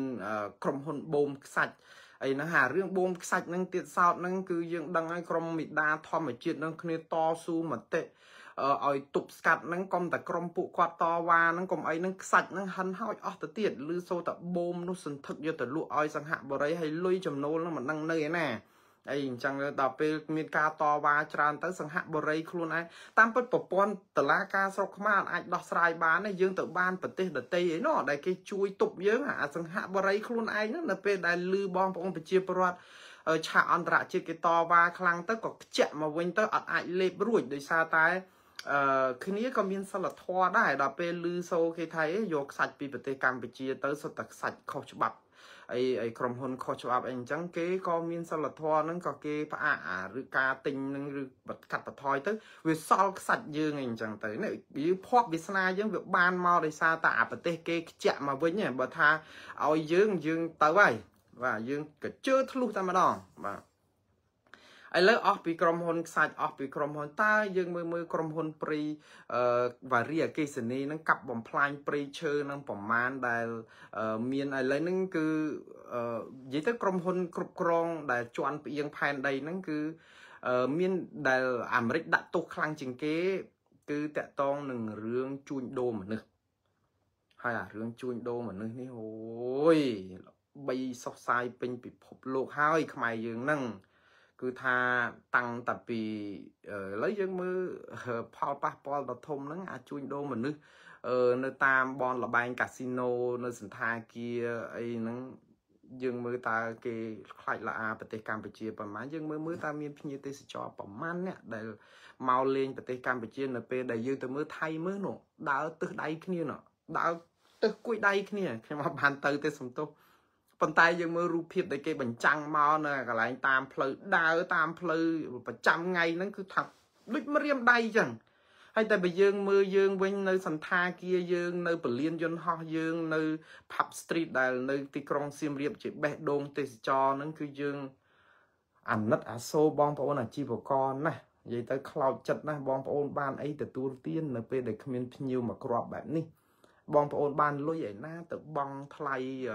ជួលតូបជួលកន្លែងគេលក់ដូរបងប្អូនបានលុយឯណា ដើម្បីបង់ថ្លៃជាពាក់បំណុលធនាគារដែលខ្ចីយកម្រោស៊ីបងប្អូនបានលុយឯណាដើម្បីផ្គត់ផ្គង់ជីវភាពប្រចាំថ្ងៃនៅពេលដែលបងប្អូនឃើញស្ថានភាពអត់ភ្ញៀវអត់អីលក់ដូរមិនដាច់ចុះអ្នករត់តុកតុកអ្នករត់កង់3ផាសស្អាតម៉ូតូដប់លាក់នឹងលាក់បានអីទទួលទានណាអ្នកលក់វត្ថុអនុស្សាវរីយ៍តូចតាចដែល តាមស្រែតាមភូមិបានអីទទួលទានយើងទាំងអស់គ្នាយើងដឹងហើយថាតើមកពីបញ្ហាអីហេតុអីបានជាប្រទេសថៃប្រទេសវៀតណាមនៅក្បែរយើងភ្ញៀវគេដូចសម្ោចអីដែលនៅយើងនេះហោចតទេខ្ញុំនឹងបញ្យល់ថាហេតុអីបានជាយើងហោចភ្ញៀវទេសចរនឹងទៀតនៅពេលបន្តិចទៀតឥឡូវខ្ញុំខ្ញុំបញ្ចប់រឿងតកតងនឹងក្រុមហ៊ុនដែលរងតនកម្មហើយអាមេរិកដាក់តនកម្មនេះគេគេគេដាក់យ៉ាងម៉េច នៅពេលដែលអាមេរិកដាក់តនកម្មនេះគឺគេមានក្រមរបស់គេគឺទី1គឺបង្កក់ទ្រព្យសម្បត្តិបង្កក់ទ្រព្យសម្បត្តិទាំងអស់របស់លោកអុកញ៉ាលីយ៉ុងផាត់ឥឡូវមិនតែលោកអុកញ៉ាគាត់មានងារជាលោកអ្នកអុកញ៉ាទៅទៀតគឺថាខ្ពស់កប់ពពកហើយព្រោះដោយសារតែគុណូបការៈដែលជួយគណៈបកកណ្ដាលអំណាច បានជាច្រើនមកនេះដែលគាត់អាចជន់ព្រៀងនេះប៉ុន្តែចំពោះខ្ញុំខ្ញុំគិតថាគឺជាការដែលជួយគ្នានៅក្នុងការបិទបាំងបទអក្រិតទេអញ្ចឹងបានអីជួយទៅចិត្តតែលើកខ្ពស់ខ្ពស់ទៅជួនកាលអាចគ្រាន់តែជាការឲ្យឈរឈ្មោះដើម្បី ដើម្បីមានក្រុមហ៊ុនមានអីអញ្ចឹងទៅអាធនធានថវិកាហ្នឹងចូលទៅតាមច្រកណាទៅមន្ត្រីពាក់ព័ន្ធយ៉ាងណាក៏គ្មានអ្នកណាដឹងដែរព្រោះយើងគ្មានតម្លាភាពគ្មានអីស៊ើបអង្កេតទេប៉ុន្តែយើងមិនបាច់ឆ្ងល់ទេនៅពេលដែលអឺរឿងនេះកើតឡើងរំលោភប្រជាពលរដ្ឋគ្រប់ទិសទីហើយធ្វើបានយ៉ាងរលូនហើយគ្មានបានត្រូវទោសអីសុំអីតែមួយអាមេរិករកឃើញទោស1000ហើយដល់ពេលស្រុកខ្មែរមនុស្សនឹងស្អាតស្អំជាទីបំផុត យើងដឹងដែរយើងគិតមើលថ្លឹងថ្លែងពិចារណាខ្លួនឯងទៅខ្ញុំមិនថាលោកលីយ៉ុងផាត់ជាមនុស្សអាក្រក់យ៉ាងណាទេប៉ុន្តែលោកពិចារណាទៅថាតើសហរដ្ឋអាមេរិកនៅឯនេះឯនាយសមុទ្រឯនេះហេតុអីបានគេដឹងថាលោកលីយ៉ុងផាត់ប្រព្រឹត្តអក្រិតប្រព្រឹត្តខុសហើយចុះយើងអត់សហរដ្ឋអាមេរិកក៏គេមានស្ថានទូតគេមួយជំងោហ្នឹងនៅក្បែរវត្តភ្នំហ្នឹងតាមមន្ត្រីទូតអស់ហ្នឹងធ្វើអីគេគាត់ទៅអង្គុយដកដង្ហើមចោលឬយ៉ាងម៉េច មន្ត្រីទូតអស់ហ្នឹងគឺជាភ្នាក់ងារសម្ងាត់របស់សហរដ្ឋអាមេរិកនឹងឯងនៅក្នុងការឃ្លាំមើលតាមស៊ើបអង្កេតដំណើរការទាំងឡាយដែលប៉ះពាល់ដល់ផលប្រយោជន៍សិទ្ធិមនុស្សនិងប្រជាធិបតេយ្យដែរគេមិនបង្ងើយកន្តើយទេគេមើលតាអញ្ចឹងបានគេរកឃើញបញ្ហានេះហើយតនកម្មហ្នឹងគឺបកកទ្រព្យសម្បត្តិបកកមិនទៅបងប្អូនមួយចំនួនសួរអូយបកកទ្រព្យសម្បត្តិស្អីឮតែបកកបកកហ្នឹងឃើញគ្មានប៉ះក្បាលណាណាផង ទ្រព្យសម្បត្តិអស់លោកទាំងអស់ហ្នឹងដែលយកទៅដាក់នៅស្រុកក្រៅទៅស្អីបើគាត់ដឹងថាគាត់ប្រព្រឹត្តបទល្មើសហើយទៅដាក់ស្រុកក្រៅឲ្យគេកើបយកអស់មាននរណាគេទៅល្ងងឆោតដល់ថ្នាក់ហ្នឹងនោះយ៉ាជាការពិតខ្ញុំជឿថាគាត់ថ្លៃទៅជាអុកញ៉ាជាមន្ត្រីសទ្ធិហើយរស់ស៊ីនៅក្នុងប្រព័ន្ធដែលច្បាប់យើងធូររលុងគ្មានភាពច្បាស់លាស់ជាក់លាក់បែបនេះម្នាក់ម្នាក់សិទ្ធិភ័យខ្លួនអ្នកខ្លះជួនកាលទិញមាសយកទៅកោទុកចោលចាក់គ្រឹះនៅក្នុងផ្ទះណោះ ព្រោះមិនដឹងថាបើយកលុយដុល្លារទៅវាមិនដឹងថាយកទៅដាក់នៅណាអាចទៅវាកឌៀស៊ីកដោកាត់អស់ប៉ុន្តែបើជាមាសវិញគឺអាចយកទៅចាក់ចង្គិបចង្គិបចាក់ចោលសឹងក្រាលធ្វើជាផ្លូវដើរផងអស់លោកអឺអឺលឺរឿងមាសនេះប្រហែលជាព្រឺសបល់ដែរហើយព្រោះអឺខ្ញុំបានលឺរឿងនេះពីប្រសង់ដែលទៅចយន្តោឬក៏ទៅប្រសិទ្ធិ នៅផ្ទះលោកធំធំមួយចំនួនហ្នឹងមកវិញលោកលើលោកសឹកហើយលោកមកប្រាប់អំពីថាអូយមាសគេនោះដល់ហើយគឺចាក់ឯងសឹងថាពាក់កណ្ដាលផ្ទះក៏មានដែរចាក់ជាគ្រឹះអញ្ចឹងហ្មងព្រោះវាច្រើនពេកអញ្ចឹងបានអាការនាំចូលមាសពីស្រុកក្រៅអីមកស្រុកខ្មែរអីហ្នឹងគឺជួនកាលអត់មានរបាយការណ៍អីសោះដោយសារអីប្រជាប្រដ្ឋខ្មែរដែលជាអ្នកមានណាគឺគាត់ដឹងខ្យល់មុនណា ថាបរោស៊ីនៅស្រុកក្រៅជិះបំផុតពីគេរឹបអូហើយព្រោះអាទ្របបានហ្នឹងភាគច្រើនបានមកពីអំពើទុច្ចរិតណាអញ្ចឹងគាត់យកទ្របហ្នឹងទុកនៅក្នុងអឺ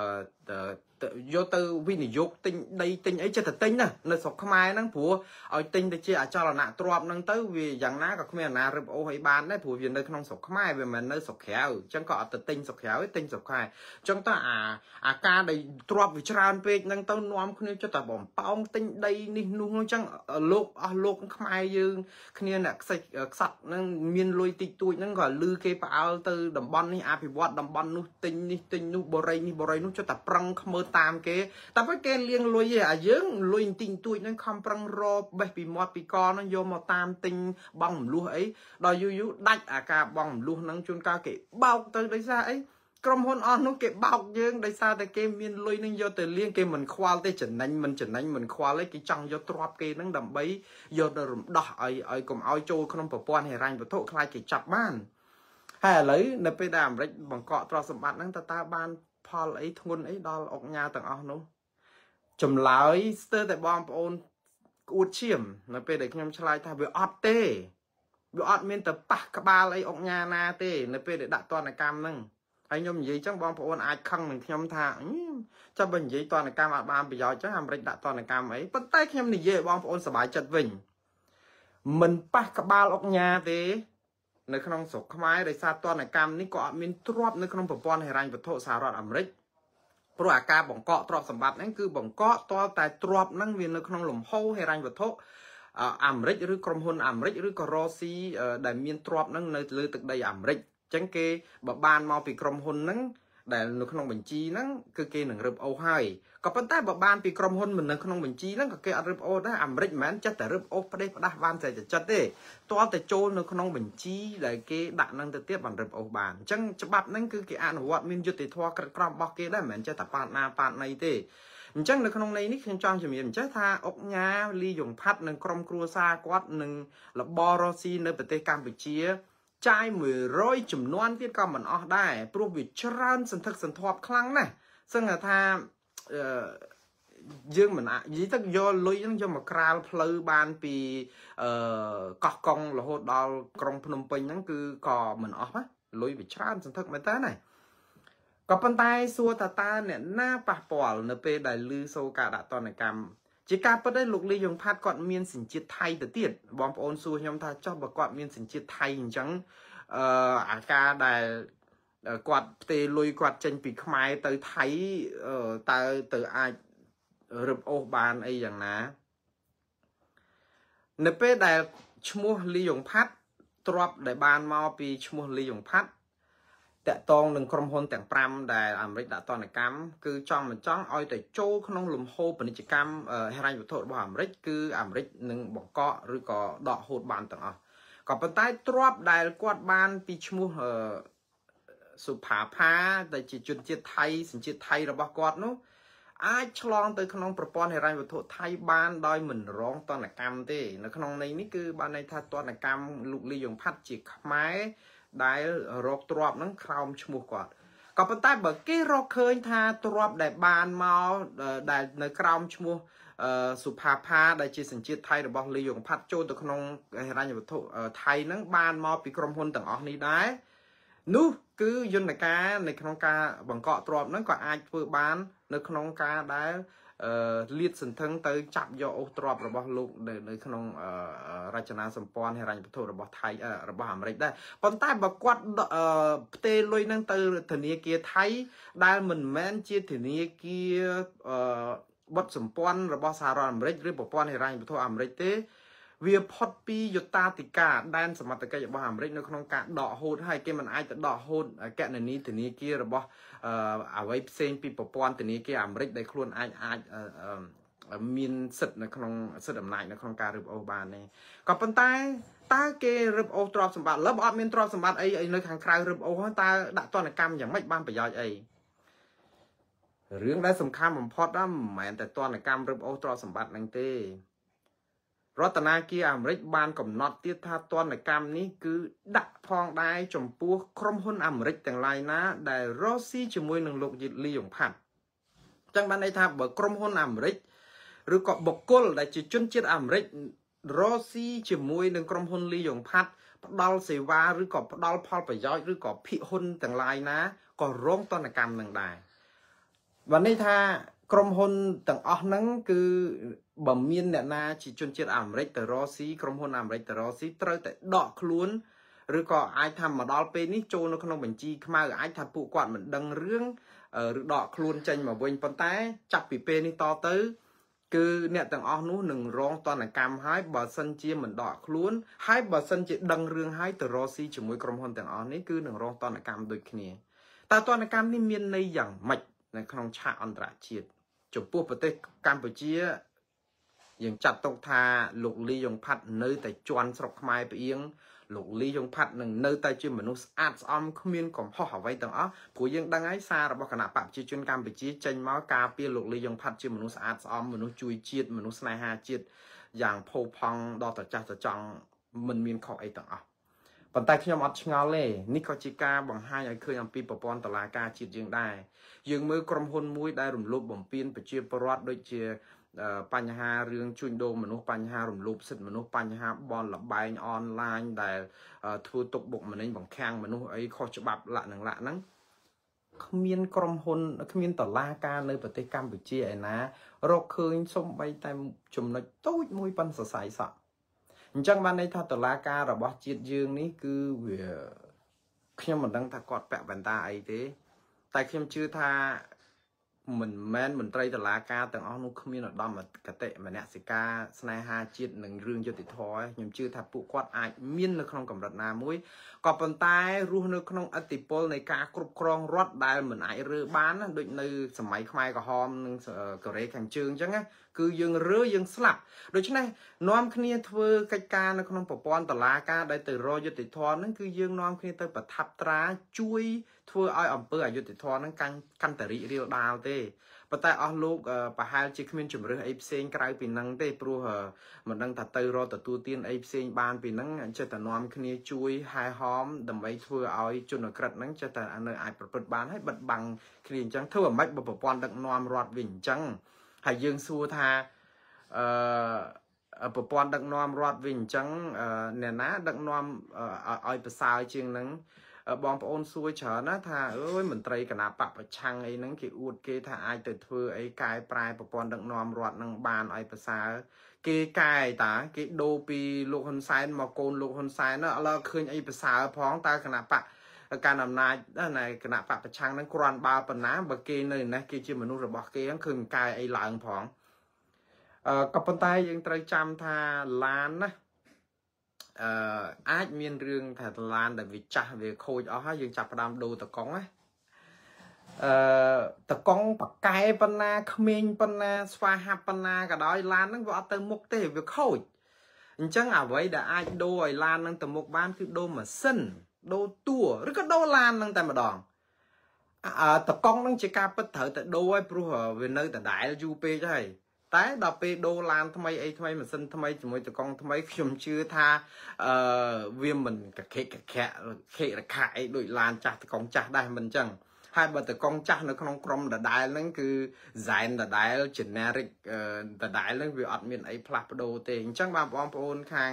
គណៈបកប្រឆាំងហ្នឹងថានៅតែប្រកាន់គោចំហថាបើដូរបែបហ្នឹងគឺមានការផ្លាស់ប្ដូរហើយសប្តាហ៍ថ្ងៃប្រព័ន្ធដឹកនាំរដ្ឋយើងហ្នឹងគឺវា ជាប្រព័ន្ធដឹកនាំរដ្ឋបែបគ្រួសារនិយមបែបនេះយើងអត់មានថ្ងៃដែលនឹងប្រសើរជាងហ្នឹងទេហើយខ្ញុំនិយាយនេះមិនមែនបានន័យថាអូអឺឲ្យបងប្អូនក្រោកតវ៉ាធ្វើបដិវត្តពណ៌អីទេខ្ញុំជឿថាអារឿងក្រោកតវ៉ានិងផ្លូវការចង់បានផ្លាស់ប្ដូរការដឹកនាំរដ្ឋហ្នឹងគឺវាចេញមកឯឯងទេព្រោះដោយសារតែមានការជិះជាន់គៀបសង្កត់ហ្នឹងវានឹងកើតឡើងឯឯងមិនបាច់អំពីនីវទេ ហើយរដ្ឋាភិបាលខ្លួនឯងក៏ដឹងដែរថាសប្ងៃហ្នឹងគឺប្រជាប្រដ្ឋឬគុណជុំទិសហ្នឹងដោយសារអីដោយសារគាត់ធ្វើមិនត្រូវបើធ្វើត្រូវគ្មាននរណាគេរិះគន់ទេនរណាមិនស្រឡាញ់ជាតិឧទាហរណ៍ដូចអីថ្ងៃមុនឃើញគេអឺដូចថាវិស័យទេសចរយើងវាដាំក្បាលចុះទាបពេកអឺប្រៀបធៀបទៅប្រទេសជិតខាងយើងនឹងស្ទើរតែសូន្យ អញ្ចឹងមានកម្មវិធីព្រឹត្តិការណ៍យកឡានថ្លៃថ្លៃអីនឹងយកមកសម្ញែងនៅមុខអង្គរវត្តអីឬក៏តាមទីជនបទឬតាមទីប្រជុំជនអីហ្នឹងដើម្បីអីតាក់ទាញភ្ញៀវទេសចរអន្តរជាតិឲ្យឃើញថាបានផ្សព្វផ្សាយប៉ុន្តែមានបងប្អូនច្រើនណាស់តោមនិញនឹងខាងនឹងផ្សព្វផ្សាយយកឡានថ្លៃអីភ្ញៀវទេសចរឯណាគេទៅឈឺ ឆ្អាលត្រេកតាអាលនឹងឡានថ្លៃនឹងអង្គរនឹងវាអត់មានអ្នកមានអ្នកណាគេត្រេកតាអាលអញ្ចឹងទេ គេចង់ទៅលេងអង្គរដោយសារអីវាជាកន្លែងស្ងប់ស្ងាត់មិនមែនកន្លែងប្រឆេះម៉ាស៊ីនឡាន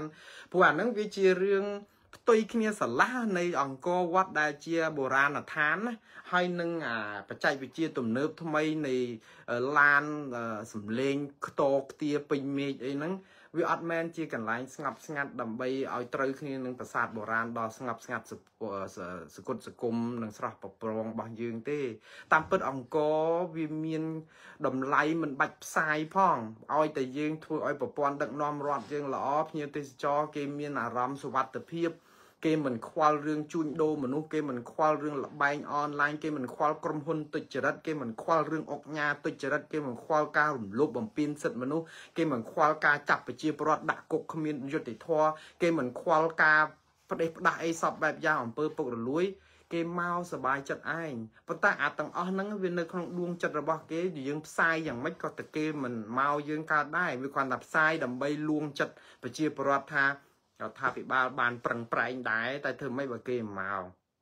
តែអាហ្នឹងមិនមែនជាការប្រឹងប្រែងវាជាចំណែកមួយប៉ុន្តែវាមិនត្រូវទេយើងអេះអត់ត្រូវលមាស់ទេ ការផ្សព្វផ្សាយវប្បធម៌ភោផង់របស់ខ្មែរស្ទឹងសឹងថាយើងមិនបាច់ផ្សព្វផ្សាយទេយើងធ្វើឲ្យតែខ្មែរយើងមូលមាត់គ្នាអឺនាំគ្នាស្រឡាញ់គ្នាកំបែកបាក់ផ្ទៃក្នុងជាតិយើងណាមនុស្សនៅក្រៅប្រទេសនឹងនាំគ្នាអួតសរសើរពីជាតិយើងណា ខ្វះទេបាក់តនប់មនុស្សទៅលេងទាំងខ្មែរខ្លួនឯងឥឡូវខ្មែរប្រហែលនៅស្រុកក្រៅដែលចង់ទៅលេងស្រុកខ្មែរគេតវ៉ាអីទីងទួយនឹងលៀបពណ៌គេថាពួកអាប្រឆាំងផ្កាប់មុខគ្នាមិនហ៊ានទៅលេងស្រុកខ្មែរដោយសារអីយើងររឿងគេតាំងតែពីនៅស្រុកខ្មែររហូតដល់ អឺពមៀនគេចាប់ចងគេហើយតបងប្អូនស្ដាប់មកហ្នឹងគឺចាំចាប់ពេលអស់ពីគ្រួសារហ៊ុនសែនចាំទៅលេងស្រុកខ្មែរអញ្ចឹងសូម្បីតែខ្មែរគ្នាឯងហ្នឹងក៏មានគំនិតអញ្ចឹងផងហើយចុះទៅមុំពួកបរទេសដូច្នេះអស់លោកគួរតែភ្ញាក់រលឹកអំពីរឿងហ្នឹងហើយរឿងតនកម្មនេះខ្ញុំបន្តបន្តិចទៀតពេលដែលអស់លោកថាអូមិនឈឺក្បាលហាលថ្ងៃដល់អុកញ៉ាជាការពិតហើយ អស់លោកណាតាំងមានចាំទេកាលពីប្រហែលឆ្នាំមុនគេដាក់តនកម្មត្រីភាពអុកញ៉ាត្រីភាពដែររឿងកាប់បំផ្លាញព្រៃឈើយ៉ាងរង្គាលហើយក៏ជាអ្នកដែលផ្គត់ផ្គង់សម្បើមដល់គណៈបកប្រជាជនកម្ពុជានឹងដែរអាមេរិកគេផ្ដន់ទាទោសវាដាក់ក្នុងបញ្ជីខ្មៅហ៎មានអុកញ៉ានឹងធំធំនឹងមានត្រីភាពមានទាំងមន្ត្រីឧត្តមសេនីយ៍មានគុណគឹមមាន អឺឈ្មោះអុកញ៉ាច្រើនផ្សេងទៀតឥឡូវក្នុងបញ្ជីស្បែកឆ្កែបញ្ជីខ្មៅរបស់គេគ្រាន់តែគេមិនទាន់ដល់ពេលទេនៅនៅមានទៀតក្នុងនោះក៏មានទាំងឈ្មោះលោកម៉ុងរទ្ធីមាននឹងអុកញ៉ាមានលោកមេងខិនក្រុមហ៊ុនស៊ូកាគូដែលតាក់ទងរឿងរំលោភដីធ្លីប្រជាពលរដ្ឋនៅតំបន់បឹងកក់ហើយហ្នឹង ហើយនឹងដំសនី12 13នាក់ទៀតនៅក្នុងបញ្ជីហ្នឹងគឺទៅមិនបានម្នាក់ពីរនាក់ដូច្នេះវានៅមានតទៅទៀតវាអត់មានចប់ទេដោយសារអីអង្គើអូក្រិតហ្នឹងវានៅតែកើតឡើងអញ្ចឹងសហរដ្ឋអាមេរិកនៅតែបន្តឃ្លាំមើលនឹងតទៅទៀតឥឡូវនិយាយពីតនកម្មពេលដែលអត់ត្រូវអង្គញានៅស្រុកខ្មែរតើវាមានផលប៉ះពាល់អីដែរជាឆាកអន្តរជាតិតកតងនឹងមុខមាត់ជាតិរបស់យើងបងប្អូនត្រូវចាំថាក្រុមហ៊ុនលីយ៉ុងផាត់មានបនលបែងកាស៊ីណូមានសន្តាគារមានមណ្ឌលកំសាន្តមានអី គ្រប់ទិសទីនៅប្រទេសកម្ពុជាហើយសិតតែលំដាប់ផ្កាយ5អូតែលទាំងអស់នេះឬក៏កន្លែងទាំងអស់នេះគឺជាកន្លែងតាក់ទាញភ្ញៀវទេសចរលំដាប់ថ្លៃថ្លៃដែរដែលគេមកស្នាក់នៅដូចជាសន្តាគារភ្នំពេញឬសន្តាគារ Golden City មកលេងវាយកូនគោលេងអីហ្នឹងសបាយអីចឹងតើអ្នកណាដែលមានលុយអស់ហ្នឹងមកអឺចាយនៅក្នុងសន្តាគារទាំងអស់ហ្នឹងឥឡូវនៅពេលដែលរងតនកម្មកុំភ្លេចថាសារព័ត៌មានអន្តរជាតិគ្រប់ទិសទី ផ្សាយពីរឿងយើងរឿងអាស្រូវរបស់យើងហ្នឹងហើយអារឿងស្អីឡានប្រមាណ100គ្រឿងអីមុខអង្គហ្នឹងមកផ្សែងភឹបទៅបាត់ហើយគ្មានអាណាគេចាប់អារម្មណ៍ទេប៉ុន្តែរឿងលីយ៉ុងផាត់នេះណាផ្អើលពិភពលោកឥឡូវខ្ញុំឲ្យឧទាហរណ៍សារព័ត៌មានអាមេរិកគ្រប់ទិសទីមានទាំង diplomat មានទាំង CNN មានទាំង ABC មានទាំងសារព័ត៌មានផ្សេងផ្សេងទៀតនៅសហរដ្ឋអាមេរិកហ្នឹងគឺផ្សាយចម្រោះ ចឹងប្រជាពលរដ្ឋអាមេរិកខ្លួនឯងដឹងខ្លួនហើយថាក្រុមហ៊ុនលីយ៉ុងផាត់មានប្រមាណក្រុមហ៊ុនសន្តាគារមានប្រមាណកន្លែងមណ្ឌលកំសាន្តប្រមាណដែលខ្លួនត្រូវជៀសវាងអញ្ចឹងភ្ញៀវទេសចរដែលជាអាមេរិកនេះនៅពេលដែលលឺគេដាក់តនកម្មនេះឥឡូវបើថាអត់តន់បានទៅទេប៉ុន្តែបើទៅគឺគេនឹងគិតពីសន្តាគារឬក៏រមណីយដ្ឋានឬក៏ក្រុមហ៊ុនឬកន្លែងដែលបានផលដល់ក្រុមហ៊ុនទាំងអស់នេះ ព្រោះអាមេរិកគ្រប់គ្នានឹងមានកាតព្វកិច្ចផ្លូវសិលធម៌មួយដែរនៅពេលដែលរដ្ឋាភិបាលអាមេរិកដែលដាក់ទណ្ឌកម្មមន្ត្រីខ្មែរឬក៏ក្រុមហ៊ុនខ្មែរបែបហ្នឹងគឺគេសូម្បីតែក្រសួងការបរទេសអាមេរិកនេះដែលចេញសេចក្តីថ្លែងការណ៍ជាមួយរដ្ឋាភិបាលអាមេរិកហ្នឹងគឺមានបញ្ជីស្បែកខ្មៅបញ្ជីខ្មៅរបស់គេហ្នឹងប្រាប់ប្រជាពលរដ្ឋអាមេរិកខ្លួនឯងពមៀនហើយហើយថាបើទៅស្រុកខ្មែរមើលមែនតែនក្រុមហ៊ុនទាំងនេះគឺរងតនកម្ម អញ្ចឹងកុំទៅស្នាក់នៅសន្តាគារនេះកុំទៅប្រើប្រាស់ក្រុមហ៊ុនផ្ដល់ប្រយោជន៍ដល់ក្រុមហ៊ុននេះណាស់តើបងប្អូនគិតមើលតើតើទាំងអស់ហ្នឹងវាខាតបង់ដល់ក្រុមហ៊ុនរបស់លោកលីអំផាត់ប៉ុណ្ណានៅលើឆាកអន្តរជាតិនៅក្នុងស្រុកខ្មែរអាចថា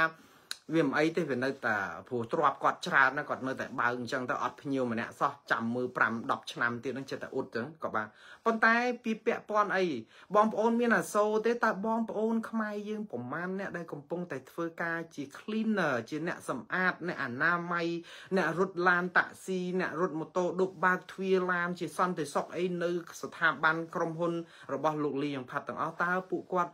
នឹងបាត់បង់ការងារប្រាក់ទទួលទានដែលកំពុងតែមានស្រាប់តិចនឹងផងនឹងតើគាត់នឹងវេទនាប៉ុណ្ណានេះគឺជាផលប៉ះពាល់ដល់ជីវភាពគ្រួសារទូទៅសេដ្ឋកិច្ចប្រទេសកម្ពុជាទាំងមូលដែរมันអត់ទេ តែជាជាឥឡូវនៅពេលដែលជនជាតិអាមេរិកចាប់ផ្ដើមមិនទៅលេងសន្តាគារអាចថាទៅទៅយើងបង់លុយអីចឹងយើងនឹងបានផលទៅលីយងផាត់ហើយទៅបានផលលើក្រុមហ៊ុនដែលនៅក្នុងបញ្ជីខ្មៅបែបនេះខ្ញុំមិនជឿថាជនជាតិអាមេរិកកាំងមានក្រមសីលធម៌អញ្ចឹងអាចទូលេបទៅចូលទេគាត់នឹងមិនធ្វើដូច្នេះទេគឺនឹងកិច្ចហើយចុះតែពេលកិច្ចគាត់នឹងប្រាប់មិត្តភ័ក្តិរបស់គាត់ទៀត ណាមិត្តភ័ក្តិជាជនជាតិអឺរ៉ុបមិត្តភ័ក្តិជាហើយឥឡូវអឺរ៉ុបហ្នឹងក៏គេដឹងដែរសារព័ត៌មានបារាំងកាណាដាអូស្ត្រាលីជប៉ុនអឺអាស៊ីយើងក៏មានដែរនៅសង្ហបុរីហ្នឹងអឺក៏ឥណ្ឌានោះទៀតហ្នឹងគឺថាផ្សារព័ត៌មាននឹងផ្សាយគ្រប់ទិសទីអំពីបញ្ជីនឹងទាំងអស់តើយើងមុខមាត់យើងប៉ុណ្ណា គេមើលមកយើងគេឃើញថាយើងជាជាតិសាសយ៉ាងដូចម្ដេចនៅពេលដែលប្រធានសមាគមអុកញ៉ាមួយនៅកម្ពុជាហើយអុកញ៉ាហ្នឹងគឺជាបណ្ដាញក្រុមហ៊ុនដែលគួរឲ្យទុកចិត្តដើម្បីគេយកទុនវិនិយោគជាមួយយើងហើយឥឡូវបើប្រធានសមាគមអុកញ៉ាហ្នឹងប្រព្រឹត្តអំពើអក្រិតបែបហ្នឹងទៅហើយហ្នឹងតើស្ថាប័នអុកញ៉ាហ្នឹងនឹងមានសុពលភាពប៉ុណ្ណាបើនៅស្រុកគេគេចោះចេញពីតំណែងហ្នឹងអស់ហើយទុកឲ្យសមាគមហ្នឹងអ្នកផ្សេងយកមកដឹកនាំទៅដើម្បីឲ្យកុំឲ្យខូច ឧទាហរណ៍ដូចក្នុងស្ថាប័នតឡាការអញ្ចឹងបើមន្ត្រីឬចៅក្រមតឡាការឬក៏ប្រធានតឡាការប្រព្រឹត្តអំពើពុករលួយនឹងរឿងអយុត្តិធម៌តើឲ្យប្រជាពលរដ្ឋទៅជឿប្រព័ន្ធតឡាការយើងយ៉ាងដូចម្ដេចប៉ុន្តែផ្ទុយទៅវិញមិនមានទោសទណ្ឌហើយមានសារចេញការពារបកគលអញ្ចឹងបានន័យថាលោកលីយ៉ុងផាត់នៅប្រទេសកម្ពុជានឹងមិនរងតនកម្មអ្វីសូម្បីតែប៉ុនសរសៃសក់ប៉ុន្តែជាឆាកអន្តរជាតិគឺជារឿងអាម៉ាស់ណាស់សម្រាប់ជាតិសាសន៍ខ្មែរយើងយើងជាខ្មែរនៅអាមេរិកនេះ ឬក៏នៅជាតិដតីទៀតហ្នឹងគឺយើងឃើញអូហេតុអីក៏ខ្មែរយើងដូច្នេះគេឈ្មោះរបស់យើងអាស្រូវខ្លាំងណាស់ឥឡូវគេចាប់ផ្ដើមលឺយើងអញ្ចឹងតើអ្នកវិនិយោគឯណាគេចង់ទៅរកស៊ីជាមួយយើងទៅរកស៊ីយ៉ាងម៉េចទៅរកស៊ីដើម្បីបានប្រយោជន៍អីគេទុកចិត្តប្រព័ន្ធហើយនៅពេលដែលគេជៀសពីយើងបានផលទៅអ្នកណាបងប្អូន បានផលទៅវៀតណាមបានផលទៅប្រទេសថៃព្រោះគេទៅចឹងគេគិតពីយើងអស់អញ្ចឹង ហើយហើយហើយនៅពេលដែលយើងដឹងរឿងបែបហ្នឹងតើយើងគួរធ្វើអីទៀតអឺតើរដ្ឋាភិបាលនឹងគួរអីទៀតឬក៏នៅតែបន្តមិនស៊ើបអង្កេតលោកលីយ៉ុងផាត់នឹងតទៅសោះ ខ្ញុំជឿថានឹងមិនមានការស៊ើបអង្កេតទេព្រោះយើងបាត់ពិសោធន៍យើងប្រមាណអាណត្តិមកហើយដរាបណាមានការដឹកនាំប្រទេសបែបហ្នឹងគឺមន្ត្រីដែលបានផលប្រយោជន៍ដល់គណៈបកប្រជាជនកម្ពុជាគឺនឹងរួចខ្លួនតចឹងតរហូតហ្នឹងអុកញ៉ាយើងដឹងហើយអ្នកដែលស្និទ្ធនឹងគណៈបកប្រជាជននឹងបកកាន់អំណាចអីហ្នឹងឬបានលុយចូលបកហ្នឹងច្រើនអីចឹងឲ្យសំបីតែជាប់គុកដែលថាអូគេកាត់ឲ្យល្អមើលគ្រប់កិច្ចហ្នឹងអត់ដែលបានទាំងជាប់គុកផងឃើញទៅ ទៅសៀទៅសៀអញ្ចឹងទៅដាក់សបុតពេទ្យទៅថាឈឺស្កាត់អីអញ្ចឹងទៅណោះបន្ទប់ VIP រហូតតថ្ងៃចប់ទោសនឹងហ្មងចេញពីបន្ទប់ម៉ាស៊ីនត្រជាក់វិញអត់បាននៅគុកតែ1ម៉ោងយើងមើលលោកគិតធៀងហើយនឹងថងសរ៉ាត់ទៅយើងដឹងហើយករណីនឹងហើយបើសិនជាសកម្មជនយើងនយោបាយឬក៏បពប្រឆាំងឬក៏អឺសហជីពកម្មករដូចកញ្ញាស៊ីធដូចលោកមីសវណ្ណារាឬក៏អ៊ុំសំអានឬក៏ អឺលោកផ្សេងផ្សេងទៀតដែលជាប់ក៏គឺថាអត់រួចមួយថ្ងៃទេគឺថាចប់ដល់ថ្ងៃហ្នឹងបញ្ចេញជួនកាលហួសម៉ោងចេញហ្នឹងទៀតដោយសារឯកសារហ្នឹងរត់មិនទាន់ប៉ុន្តែបើថាឲ្យចេញមុនហ្នឹងមានហើយបើថាឈឺថ្កាត់អីចង់សុំពេទ្យទៅក្រៅអី គេថាពេទ្យនៅក្នុងមន្ទីរពន្ធនាគារហ្នឹងគេមានសពគ្រប់ចេះមើលហើយមិនចាំបាច់ចេញទៅក្រៅទេប៉ុន្តែបើអុកញ៉ាវិញអូយើងទៅឲ្យគាត់នៅដូច្នេះអស់លោកទាំងអស់គ្នាបង្កើតឲ្យមានប្រព័ន្ធអយុត្តិធម៌តាំងពីលើដល់ក្រោមឲ្យលោកស្រែកថាអរគុណសន្តិភាពហើយយើងនឹងស្អាតស្អំអស់ចាណាតើទៅកុហកអ្នកណាគេជឿហើយឥឡូវយើងមើលអញ្ចេះទៀត ខ្ញុំបន្តបន្តិចរឿងបញ្ចប់ឲ្យសូមអរសូមអធិស្ឋានបងប្អូនខ្ញុំវាវែងដែរប៉ុន្តែរឿងនេះវាវែងដូចសឡកពឹសខ្ញុំនិយាយមកពាន់មួយយប់ក៏មិនចប់ដែរគ្រាន់តែថាចង់ប្រាប់ជម្រាបបងប្អូនអំពីផលវិបាកនៃការដាក់ទណ្ឌកម្មរបស់អាមេរិកវាមិនប៉ះពាល់ខ្លាំងដល់ទ្រព្យសម្បត្តិរបស់គាត់នៅក្នុងស្រុកខ្មែរទេព្រោះគាត់អាចនៅតែរស់ស៊ីនៅស្រុកខ្មែរបានព្រោះរដ្ឋាភិបាលនឹងមិនចាត់ការគាត់ទេតែតុលាការក៏មិនចាត់ការគាត់ដែរព្រោះជាមនុស្សរបស់គាត់ ប៉ុន្តែពីឆាកអន្តរជាតិវិញយើងខូចកិត្តិយសជាតិយើងតែម្ដងទាំងមូលនៅពេលដែលគេដាក់ទណ្ឌកម្មលើលោកត្រីភិបយើងបាក់មុខម្ដងហើយនៅពេលដែលគេដាក់ទណ្ឌកម្មលើដំសនីគុណគឹមនិងក្រុមគ្រួសារនិងក្រុមហ៊ុនយើងបាក់មុខម្ដងទៀតនិយាយទៅពី3ឆ្នាំយើងយិចយិចទៅអោនរហូតគេឈ្មោះរបស់យើងហ្នឹងគឺយើងអត់ដែលងើបរួចទេហើយតើយើងនឹងត្រៀមខ្លួនคลายទៅជាប្រទេសធូធាយ៉ាងម៉េចនឹងគេ នៅពេលដែលយើងចង់คลายទៅជាប្រទេសអ្នកមាន មេដឹកនាំនោះនិយាយពីអួតមួយថ្ងៃមួយថ្ងៃគឺថាកុំបងប្អូនកុំភ័យថ្ងៃហ្នឹងយើងស្លៀកខោអាវលហែកមែនគឺថាយេអាយ៉ៃមែនអត់អីហូបមែន2035បងប្អូនចាំយើងនឹងក្លាយជាប្រទេសអ្នកមានមធ្យមកម្រិតខ្ពស់បកកើតកូនឲ្យច្រើនថែមទៀតព្រោះយើងអត់មានកម្លាំងពលកម្មដើម្បីនឹងធ្វើឲ្យប្រទេសយើងខ្លាយជាអ្នកមាននេះខ្លាចខ្វះកម្មករខ្លាចខ្វះពលកម្ម តើអស់លោកនឹងប្រាប់សັບផ្សាយនយោបាយប្រជាពិធដ្ឋនឹងដល់ស្លាប់ខ្លួនឬក៏មិនមែនព្រោះយើងមើលមើលប្រជាពលរដ្ឋប្រមាណដែលលំបាកវេទនាប្រាក់ខែកម្មករឡើងបាន4ដុល្លារនេះ200ឡើងបាន4ដុល្លារឆ្នាំមុនឡើងបាន1ដុល្លារ2ដុល្លារហ្នឹងហើយឥឡូវឡើងបាន4ដុល្លារ204ដុល្លារអតិផរណាឡើងដល់ប្រមាណហើយអស់លោកមើលមើលពីឆ្នាំ28ឆ្នាំប្រាក់ខែកម្មករដំបូង40ដុល្លារណា 28ឆ្នាំបានឡើងដល់200 200ដុល្លារ28ឆ្នាំដើម្បីឡើងដល់200ដុល្លារអតិផរណាឡើង1000ដងទៀតក៏អត់ខ្វល់ដែរគឺឡើងស្បឺតហើយនិយាយពីអួតថាអឺប្រាក់ខែនេះឡើងខ្លាំងសម្បើមណាស់យើងមើលប្រទេសជិតខាងប៉ុន្តែយើងអត់មើលខ្លួនឯងថាចុះបើយើងឡើងបែបហ្នឹងប្រជាពលរដ្ឋចម្ពាក់គេវ៉ាន់កតើតើបានអីទទួលទានគ្រប់អស់លោកអាចនឹងយល់ដែរថា អឺបើដាក់ឲ្យប្រាក់ខែច្រើនរោងចក្រហ្នឹងគេដកចេញពីប្រទេសកម្ពុជាតាមពិតរឿងនេះគឺជារឿងការគ្រប់គ្រងឬរបៀបដឹកនាំប្រទេសបែបកជើធ្លុះទេបើសិនជាយើងកុំកជើធ្លុះយើងបិទអាកន្លែងធ្លុះហ្នឹងឲ្យអស់ណាទ្របដែលមកហូរចូលយើងណាគឺមិនខ្វះឲ្យក្រុមហ៊ុនល្អល្អ ហើយប្រាក់ខែកម្មករមិនមែនប៉ុណ្ណឹងទេយ៉ាងហោចណាស់ក៏500ទៅ1000ដុល្លារអីអញ្ចឹងវាឡើងដូចថាវាមានស្តង់ដារអីបានមករស់ដែរបើថាវាមើលស្ថានភាពជាក់ស្ដែងគឺមិនមែនថាឡើងស្បឺតទេហើយចុះឥឡូវបើ28ឆ្នាំបានបានឡើង204ដុល្លារចោះជំរាំដល់ឆ្នាំ2035ឬក៏2050ដែលយើងចាំខ្លាចជាប្រទេសអ្នកមានយើងឡើងយ៉ាងច្រើនបាន300អីហ្នឹង រួចទៅតើជំរាំដល់ឆ្នាំហ្នឹងតើយើងហើយមិនដឹងថាបានលុយពីណាឡើងទៀតយើងឡើងអត់បានដោយសារអីអូខេឥឡូវទៅទេទេវិស័យទេសចរយើងដាំក្បាលចោះអាការរទទួលទានកំពុងតែបានហូបបានអីចឹងមកឥឡូវយើងចាប់ផ្ដើមកាំងស្ញអញ្ចឹងដោយសារអីដោយសារមុខមាត់ជាតិយើងដែរអូយើងបន្ទោសកូវីដត្រូវហើយកូវីដ កូវីដហ្នឹងគឺអ្នកណាក៏រងផលដែរពិភពលោកហ្នឹងគេដាបដូចគ្នាប៉ុន្តែក្រោយកូវីដមកគេឡើងដើរត្រង់ភ្លឹងអស់ហើយយើងនៅវាដដែលហ្នឹងអាហ្នឹងមិនមែនកូវីដទេនេះគឺជាការដឹកនាំរដ្ឋដោយសារអីយើងមើលប្រទេសគេរីចម្រើនយើងចេញមកពឹបចេញពីកូវីដយើងចាប់ផ្ដើមលាយគណៈបកនេះចាប់គណៈបកនេះដាក់គុកមន្ត្រីនេះអញ្ចឹងអា សិទ្ធិមនុស្សនឹងប្រជាធិបតេយ្យយើងនៅលើពិភពលោកយើងស្ដាប់ទៅគឺនេះដល់ពេលដល់ពេលដែលយើងធ្វើបាបគណៈបកប្រឆាំងណាអឺហើយសហគមន៍អន្តរជាតិដាក់ទោសយើងសហគមន៍មរតដក EBA ពីយើងហើយអា GSP របស់អាមេរិកហ្នឹងក៏មិនប្រកាសថានៅគង់ណាយើងចាប់ផ្ដើមឃើញឃើញឃ្លីងឃ្លោងឯងយើងចាប់ផ្ដើមទៅពឹងចិនពឹងអីទៅរកស៊ីជាមួយចិនជាមួយអីខ្ញុំមិនថារកស៊ីជាមួយចិនអាក្រក់ឯងព្រោះចិនរកស៊ីជុំវិញទៅពិភពលោកនៅសហរដ្ឋអាមេរិកហ្នឹងផលិតផលធ្វើនៅប្រទេសចិនហ្នឹងស្ទើរតែគ្រប់មុខហើយ ក៏ប៉ុន្តែក៏គេមានលក្ខខណ្ឌតម្រូវច្រើនដែរប៉ុន្តែនៅពេលដែលយើងខ្សែគប់ជាមួយប្រទេសចិនកុម្មុយនីស យើងមានតែចិនកុម្មុយនីសនឹងដែលជួយយើងអាប្រទេសដទៃទៀតគេលែងចង់រកស៊ីជាមួយយើងអញ្ចឹងចាប់ផ្ដើមថ្លឹងថ្លែងហ่าដល់ពេលក្រុមហ៊ុនចិនមកច្រើនខ្ញុំមិននិយាយក្នុងន័យថាអូរើសអើងក្រុមហ៊ុនចិនប៉ុន្តែការពិតជាក់ស្ដែងគឺអញ្ចឹងកាស៊ីណូនៅកំពង់សោមនៅអីលាក់នឹងលាក់ចុងក្រោយអង្គការសហប្រជាជាតិរកឃើញថាក្រុមហ៊ុនចិនទាំងអស់នេះមានការខົບខិតគ្នាជាមួយនឹងអាជ្ញាធររបស់កម្ពុជាហ្នឹងគឺរំលោភសិទ្ធិមនុស្សយ៉ាងរង្គាល រាប់សែនអ្នកដែលពាក់ព័ន្ធនឹងអាការរំលោភសិទ្ធិមនុស្សនៅបនលបែងអនឡាញឬក៏ស្អីជាតិសាសគេដតីសំបីតែជនជាតិចិនខ្លួនឯងមិនហ៊ានទាំងមកខ្មែរយើងផងហើយយើងហេតុអីបានជាយើងនាំគ្នាទៅតទេសតថាអោបកសោបចិនហ្នឹងដោយសារតែយើងនាំគ្នាពើងទ្រូងដាក់សហគមន៍អឺរ៉ុប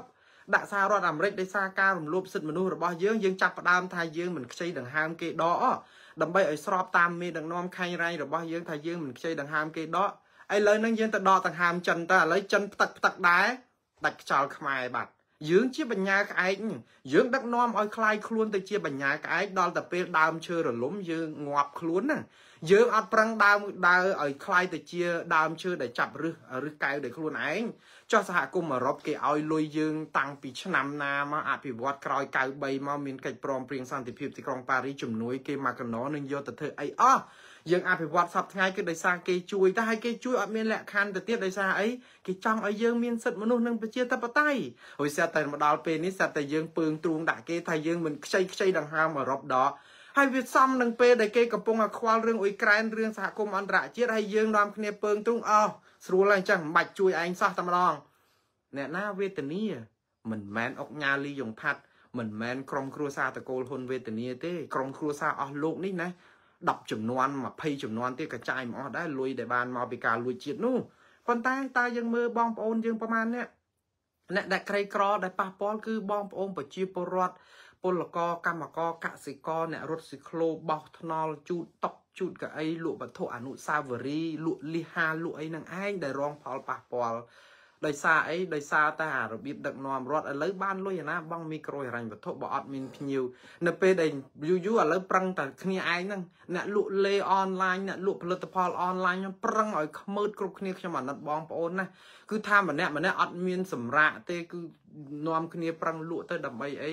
បានចិញ្ចឹមជីវិតអានឹងហើយដែលត្រូវនឹងគោលការណ៍ដែលលោកហេងសួររដ្ឋមន្ត្រីក្រសួងការងារថ្មីរបស់យើងដែលថាប្រទេសកម្ពុជាអត្រាមានការងារធ្វើគឺ99.99%និយាយទៅខ្មែរអត់មាននរណាអត់ការងារធ្វើសោះជាការពិតហើយការងារគាត់ហ្នឹងគឺមានហ្នឹងហើយមួយថ្ងៃអញ្ចឹងទៅរបានអញ្ចឹងមកដល់ពេលឈឺអត់លុយ4 5ថ្ងៃអញ្ចឹងអាហ្នឹងក៏គាត់ហៅការងារនិយាយទៅគឺ ការងាររបៀបមានសោះនឹងអត់គេមិនមែនជានិយមនៃការងារទេការងារគឺតោះតែយើងមាន ថាអូឥឡូវឈប់យើងមានប្រាក់ឈប់ឈឺគេគេឲ្យយើងឈឺមានព្យាបាលមានអីតែនេះគឺអត់ទេរត់ម៉ូតូដប់ត្រឹកត្រឹកអញ្ចឹងទៅគេហៅការងារដែរដល់ពេលអត់ភ្ញៀវទេសចរសោះកាលពីមុនហៅគាត់ថាមានការងារដល់ពេលអត់ភ្ញៀវសោះក៏អត់មានការងារ អត់បានយកស្រង់ស្ថិតិនឹងវិញផងនៅតែការងារ99.99%ចឹងរហូតខ្មែរស្ដាប់មកឬសូព្រោះរហូតនិយាយទៅថ្នាក់ដឹកនាំខ្មែរបកកែសូត្រធម៌ប្រជាពិធដើម្បីឲ្យខ្មែរស្ងប់ចិត្តណាស្ងប់ចិត្តលួងនិយាយទៅផ្ដាល់អាការសង្ឃឹមคล้ายคล้ายនឹងរហូតធ្វើនេះធ្វើនោះហោឥឡូវប្រេកជីកហ្វូណន5ឆ្នាំទៀតហោឥឡូវអភិវឌ្ឍ CLV 4 5ឆ្នាំទៀតយើងធូរហើយប៉ុន្តែបច្ចុប្បន្នហ្នឹងយើងវាអត់ធូរ ប៉ុន្តែដើម្បីទិញពេលវេលាគាត់តែសន្ទួយចឹងអូខេឥឡូវសរុបសេចក្តីមកខ្ញុំនឹងបិទបញ្ចប់ការផ្សាយនេះពុជិត2ម៉ោងហើយនិយាយអំពីតនកម្មនេះណាគឺជាជាតិសាសរបស់យើង គឺជារឿងអាម៉ាស់ធំណាស់យើងរងអតិពលអឺខាត់ប្រយោជន៍ជាតិធំណាស់អត់ខាត់ប្រយោជន៍បុគ្គលសួនតួប្រមាណអ្នកនឹងទេតែខាត់ប្រយោជន៍ជាតិធំទី1កិត្តិយសមុខមាត់ជាតិយើង ទី2ប្រព័ន្ធតុលាការនិងសុចរិតភាពនៃប្រព័ន្ធដឹកនាំរដ្ឋរបស់យើងគឺសូន្យហើយ ពេលដែលគេរកឃើញថាការអភិបាលកិច្ចប្រទេសយើងនឹងគឺវាសូន្យយើងនាំគ្នាការពារថាយូរំលោភអធិបតេយ្យយើងជ្រៀតជ្រែកក្នុងកិច្ចការផ្ទៃក្នុងកម្ពុជាតែកម្ពុជាធ្វើអីដើម្បីឲ្យកុំឲ្យគេជ្រៀតជ្រែកយើងអត់បានធ្វើអីប៉ុណ្ណឹងតើឥឡូវឥឡូវយើងទាំងអស់គ្នាកំពុងរងចាំមើលថាតើមានមនុស្សប្រមាណអ្នកនឹងស៊ើបអង្កេតលោកលីយ៉ុងផាត់ព្រោះកាលត្រីភាព កាលលោកគុណគឹមអីហ្នឹងស្ងាត់ឈឹងតាមអាយុមកហើយហ៊ីបង្ហៀងហ៊ីងបង្ហៀងហ្នឹងក៏តែអញ្ចឹងដែរគឺសុទ្ធតែរងតនកម្មទាំងអស់តើអស់លោកបានដាក់តនកម្មអីមិនត្រឹមតែមិនដាក់តនកម្មទេគឺដំឡើងឋានៈឬក៏ធ្វើឲ្យអស់លោកទាំងអស់នោះខែងរែងដើម្បីពើងទ្រូងដាក់អ្នកដាក់តនកម្មទៀតជាបុគ្គលជាគ្រួសារអស់លោកអស់ចាតែជាកិត្តិយសរបស់ជាតិគឺលោកបានធ្វើឲ្យជាតិយើងអាប់អោនកិត្តិយសស្ទើរដល់សូន្យ ខ្មែរយើងនៅគ្រប់ទិសទីប្រឹងលើកប៉ុណ្ណាក៏លើកមិនរួចដែរគឺយើងទូលភ្នំដោយសារអស់លោកឯងទាំងអស់គ្នានឹងឯងដូច្នេះលោកត្រូវភ្ញាក់ខ្លួនឡើងអឺប្រជាពិធដ្ឋនឹងកាត់បន្ថយទៅហើយងាកមករកកន្លងត្រឹមត្រូវវិញបានជាតិយើង បានសុខទាំងអស់គ្នាតនកម្មនេះណាវាគ្រាន់តែជាការវាយដៃដូចអញ្ចេះទេវាមិនមែនជាការធ្ងន់ធ្ងរប៉ុន្តែជាសារពមៀន ប្រាប់ថានៅមានតនកម្មទៀតហើយតនកម្មទាំងអស់ហ្នឹងអត់ដែលបានចំណេញអីឥឡូវយើងមើលតំណែងតំណងរវាងសហរដ្ឋអាមេរិកនិងប្រទេសកម្ពុជាតើវានឹងល្អកកប៉ុណ្ណាទៀតអាមេរិកជួនកាលក៏គេមិនចង់ដាក់តនកម្មយើងដែរប៉ុន្តែវាជ្រុលពេកវាវានៅលើគោកពេកហើយតើឲ្យគេនៅស្ងាត់ស្ងៀមប៉ុណ្ណាហើយកុំភ្លេចណា អាមេរិកដាក់ទណ្ឌកម្មប្រទេសកម្ពុជាមិនមែនដោយសារតែរឿងរ៉ាវកើតឡើងនៅប្រទេសកម្ពុជាឯងឯងទេព្រោះប្រទេសកម្ពុជាប្រជាពលរដ្ឋខ្មែរលោកមិនដឹងទៅរកពឹងដឹងផ្ដាល់នៅណាទេអរគុណបងប្អូនខ្មែរនៅស្រុកក្រៅទៅ ដែលនាំគ្នាកែកែនតវ៉ាបាតកម្មខ្ទខ្ទាទៅគោះទ្វារតំណាងរាជសហរដ្ឋអាមេរិកស្ទើរមិនលួសថ្ងៃនឹងឯងដើម្បីប្រាប់គេថាជួយមើលខ្ញុំផងឪម៉ែខ្ញុំ ចោលម៉ាស៊ីនអស់ហើយបើសិនជាអស់លោកមិនជួយមើលទេពួកខ្ញុំស្លាប់ហើយខ្ញុំមានបងប្អូនកូនចៅសាច់សាលហិតខ្ញុំនៅនឹងដែរគឺវេទនាណាស់ប៉ុន្តែម៉ែឪខ្ញុំលែងមើលកូនហើយព្រោះគាត់វាល្ងិតភ្នែកអស់ហើយលែងមើលអីដឹងអញ្ចឹងទៅនាំគ្នាអញ្ចឹងទៅគេក៏ជួយយើងអានឹងហើយដែលយើងថាអតិពលរបស់សម្លេងសហគមន៍ខ្មែរយើងនៅមាននៅលើឆាកអន្តរជាតិគឺគេស្ដាប់យើងតាចឹងអរគុណបងប្អូនខ្មែរទាំងអស់ហ្នឹងទាំងគណៈបពប្រឆាំងទាំង បងប្អូនសកម្មជននៅក្នុងសហគមន៍ដែលទៅត្រុករាល់ថ្ងៃទៅដើរគោះទ្វារគេឲ្យដែរអស់លោកនៅស្រុកខ្មែរហ្នឹងថានេះពួកអស់នេះសើពួកបោកឆ្នាំងបាយខ្មែរទេអស់លោកធ្វើប្រជាពិធនេះណាគឺជារឿងអគុណធម៌ខ្លាំងបំផុតអ្នកនៅស្រុកក្រៅឯណាតដែលចង់បោកឆ្នាំងបាយប្រជាពលរដ្ឋខ្មែរយើងអាសូរសិតសាច់ឈាមខ្មែរដូចគ្នាតាយើងចង់ជួយប៉ុន្តែអស់លោកទេដែលផ្កាប់ឆ្នាំងអ្នកយើងកំពុងតែផ្ងាឆ្នាំងវិញដើម្បីដាក់អង្គដាំបាយតែលោកផ្កាប់រហូត ដោយសារឲ្យមកយល់លេះថាពួកយើងបោកឆ្នាំងបាយឆ្នាំងបាយលោកនៅកាន់នៅនឹងនៅក្រាញនៅនឹងផ្កាប់ឆ្នាំងចោលហើយយើងមកចោតបងប្អូននៅនៅស្រុកក្រៅដែលអត់បានប៉ះឆ្នាំងនឹងសោះលោកកាត់ចកោតកាច់អីនៅនឹងទាំងអស់ហើយទៅយើងមកចោតបងប្អូននៅខ្មែរជារឿងអគុណធម៌មួយណាអញ្ចឹងសំណូមពររបស់ខ្ញុំដើម្បីឲ្យជាតិសាសន៍យើងជានីត្រូវរើគ្នាហើយកុំឲ្យរងតនកម្មរាល់ឆ្នាំមិនលុះថ្ងៃបែបនេះយើងអាប់អោនជាតិយើង កែប្រព័ន្ធដឹកនាំរដ្ឋឡើងវិញអត់ប្របាក់ទេអស់លោកស្រួលណាស់យើងត្រូវតែរើបធ្វើម៉េចឲ្យអំពើពុករលួយប្រព័ន្ធយុតិធម៌ហ្នឹងគឺជាពិសេសព្រមយុតិធម៌ព្រមតនហ្នឹងស្ដារឡើងវិញអត់ប្របាក់ទេកែប្រព័ន្ធយុតិធម៌ឡើងវិញឲ្យវាមានកម្រិតនៃការទុកចិត្តខ្លះដើម្បីអីឲ្យវិនិយោគិនគេជឿលើប្រព័ន្ធយើង ហើយកុំបាក់ស្អីក៏បាក់ពេកនោះកាងរហូតឲ្យតែខ្លួនឯងខ្សែឯងហ្នឹងគឺរួចខ្លួនរហូតអត់អញ្ចឹងទេ ត្រូវអាត្រូវអាត្រូវកាត់ត្រូវកាត់បើសិនជាលោកនាយរដ្ឋមន្ត្រីហ៊ុនសែនពីមុនធ្លាប់មានប្រសាសន៍ថាកាត់ត្រូវកាត់ត្រូវកាត់ត្រូវបោសសម្អាតប៉ុន្តែពាក្យហ្នឹងគឺជាពជាពិធអញ្ចឹងនិយាយតែចោលអញ្ចឹងទៅឥឡូវមកចូលដល់កូនគាត់ហ្នឹងនិយាយតែចោលអញ្ចឹងវាអត់ធ្វើអីខាតដោយសារអីប្រព័ន្ធយុតិធម៌របស់យើងហ្នឹងវាអត់មានឯករាជ្យ ហើយមន្ត្រីនៅក្នុងហ្នឹងគឺមានទំនាស់ផលប្រយោជន៍វាអត់មានអ្នកណាទៅអាសាច់ខ្លួនឯងដាច់ឯណាអញ្ចឹងហើយបានថាទាល់តែមានមន្ត្រីបពប្រឆាំងឲ្យមានភាពលឹះលុបហ្នឹងទៅបានអាចដោះស្រាយបញ្ហាប្រទេសកម្ពុជាបានតម្លៃនៃគណៈបពប្រឆាំងនៅតែមានឥទ្ធិពលខ្លាំងដើម្បីកែប្រែអ្វីដែលកើតឡើងនៅប្រទេសកម្ពុជាបើដូចសប្តាហ៍នេះកុំថាឡើយឆ្នាំ2035យើងខ្លាយជាអ្នកមានឬក៏ឆ្នាំ2050យើងខ្លាយជាអ្នកមាន ឆ្នាំត្រឹមតែ2000ប្រមាណ30នេះយើងអត់អង្គច្រកឆ្នាំផងកុំថាដល់ចាំដល់ពេលហ្នឹងបើសិនជាយើងនៅ ដឹកនាំរដ្ឋរបៀបសប្ងៃអញ្ចឹងវិធីដែលល្អបំផុតគឺស្ដារសិទ្ធិមនុស្សនិងប្រជាធិបតេយ្យឡើងវិញខ្ញុំដឹងហើយថាដរាបណាមានលោកនាយរដ្ឋមន្ត្រីហ៊ុនសែននៅក្រាងកាយអំណាចឈាមជ័រជាអ្នកដែលសបាយចិត្តនៅក្នុងការធ្វើទុកបុកម្នេញចាប់មនុស្សដាក់គុកហ្នឹងគឺវានៅតែមានរហូត អញ្ចឹងរឿងនេះគឺនឹងវាមិនចប់ទេដូច្នេះលោកគួរតែលមមចូលនិវត្តន៍ហើយវ័យប៉ុណ្ណេះហើយសម្រាប់ខ្លះទៅ កូនរបស់លោកលោកហ៊ុនម៉ាណែតជាក្មេងបានរៀនសូត្រចេះដឹងច្រើនដែរឲ្យគាត់ធ្វើការទៅរដ្ឋាភិបាលឲ្យដឹងរដ្ឋាភិបាលព្រឹទ្ធសភាឲ្យដឹងព្រឹទ្ធសភាតឡាការឲ្យដឹងតឡាការអស់លោកកុំមកអប់រំប្រជាពលរដ្ឋថាប្រជាប្រទេសខ្មែរមានឯករាជ្យណាស់ ប្រជាធិបតេយ្យវាត្រូវតែមានស្ថាប័ន3ឯករាជ្យដាច់ពីគ្នា ស្ថាប័នតុលាការស្ថាប័ននីតិបញ្ញត្តិគឺខាងរដ្ឋសភានិងព្រឹទ្ធសភា ខាងសារព័ត៌មានក៏ឯករាជ្យពី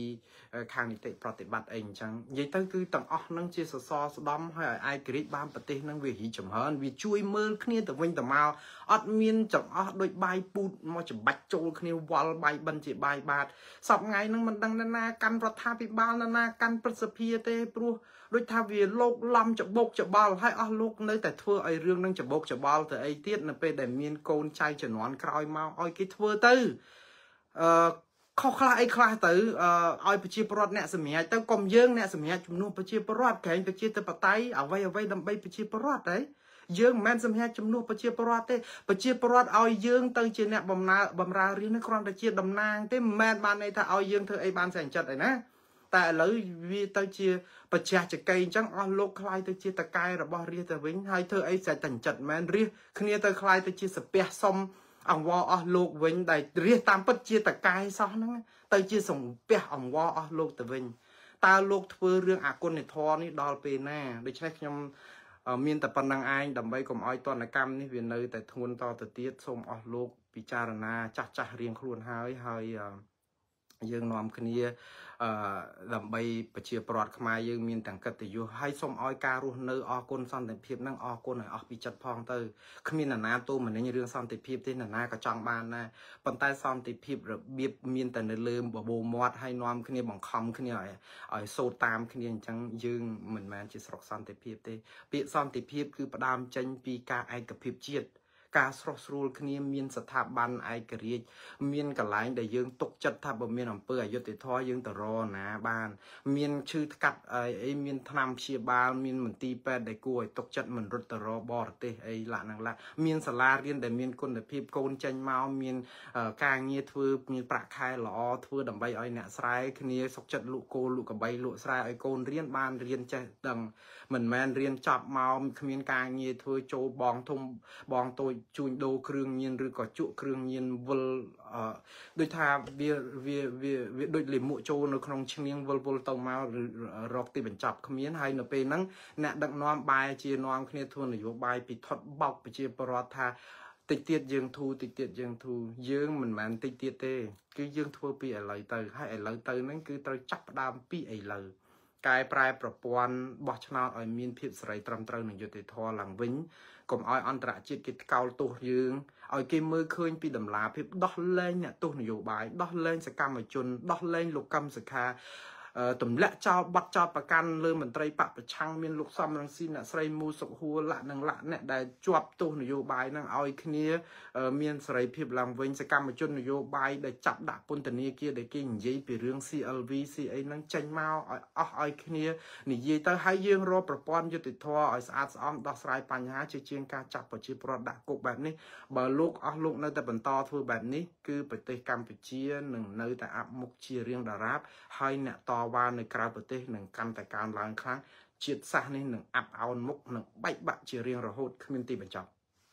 បាទខ្ញុំមានតែប៉ុណ្ណឹងហើយអ្វីដែលលើកឡើងនេះគឺគ្មានអ្វីចង់បានក្រៅពីចង់ឃើញបងប្អូនប្រជាពលរដ្ឋខ្មែរយើងមានសុខសន្តិភាពពិតប្រាកដមានប្រាក់ទទួលទានសមរម្យរស់នៅមានភាពសុខសាន្តល្អល្អឿនត្រូវរូវជានាគ្នាក្នុងនាមជាជាតិសាសន៍ខ្មែរយើងធ្លាប់ខ្លាំង ហើយខ្ញុំគ្មានអីបំណងចង់បានអីលើសហ្នឹងឯងព្រោះខ្ញុំនៅសហរដ្ឋអាមេរិកនេះខ្ញុំរស់នៅយ៉ាងសុខសាន្តមានការងារមានធ្វើត្រឹមត្រូវមានផ្ទះនៅមានអាហារទទួលទានត្រឹមត្រូវខ្ញុំគ្មានចង់បានអីទេតែចង់ឲ្យឃើញប្រជាពលរដ្ឋខ្មែរយើង បានសុខសាន្តដូចនេះដែរទើបខ្ញុំសប្បាយចិត្តបាទអរគុណច្រើនហើយសូមអរគុណការត្រងត្រាប់ស្ដាប់ទេសនាការផ្សាយផ្ទាល់តាំងពីដើមដល់ចប់2ម៉ោងនេះហើយ នៅប្រទេសកម្ពុជាកណ្ដាលអាត្រៀតហើយសូមអធិស្ឋានបងប្អូនផងហើយសូមឲ្យបងប្អូនទទួលទានដំណេកលក់យប់នេះហើយនឹងព្រឹកឡើងចាប់ផ្ដើមបន្តរបរទទួលទានតទៅទៀតហើយដូចគ្នាបងប្អូននៅសហរដ្ឋអាមេរិកសូមឲ្យបងប្អូនរីករាយថ្ងៃសុក្រដែលចុងសប្តាហ៍ជាមួយក្រុមគ្រួសារនឹងជោគជ័យក្នុងការងារបាទសូមជម្រាបលា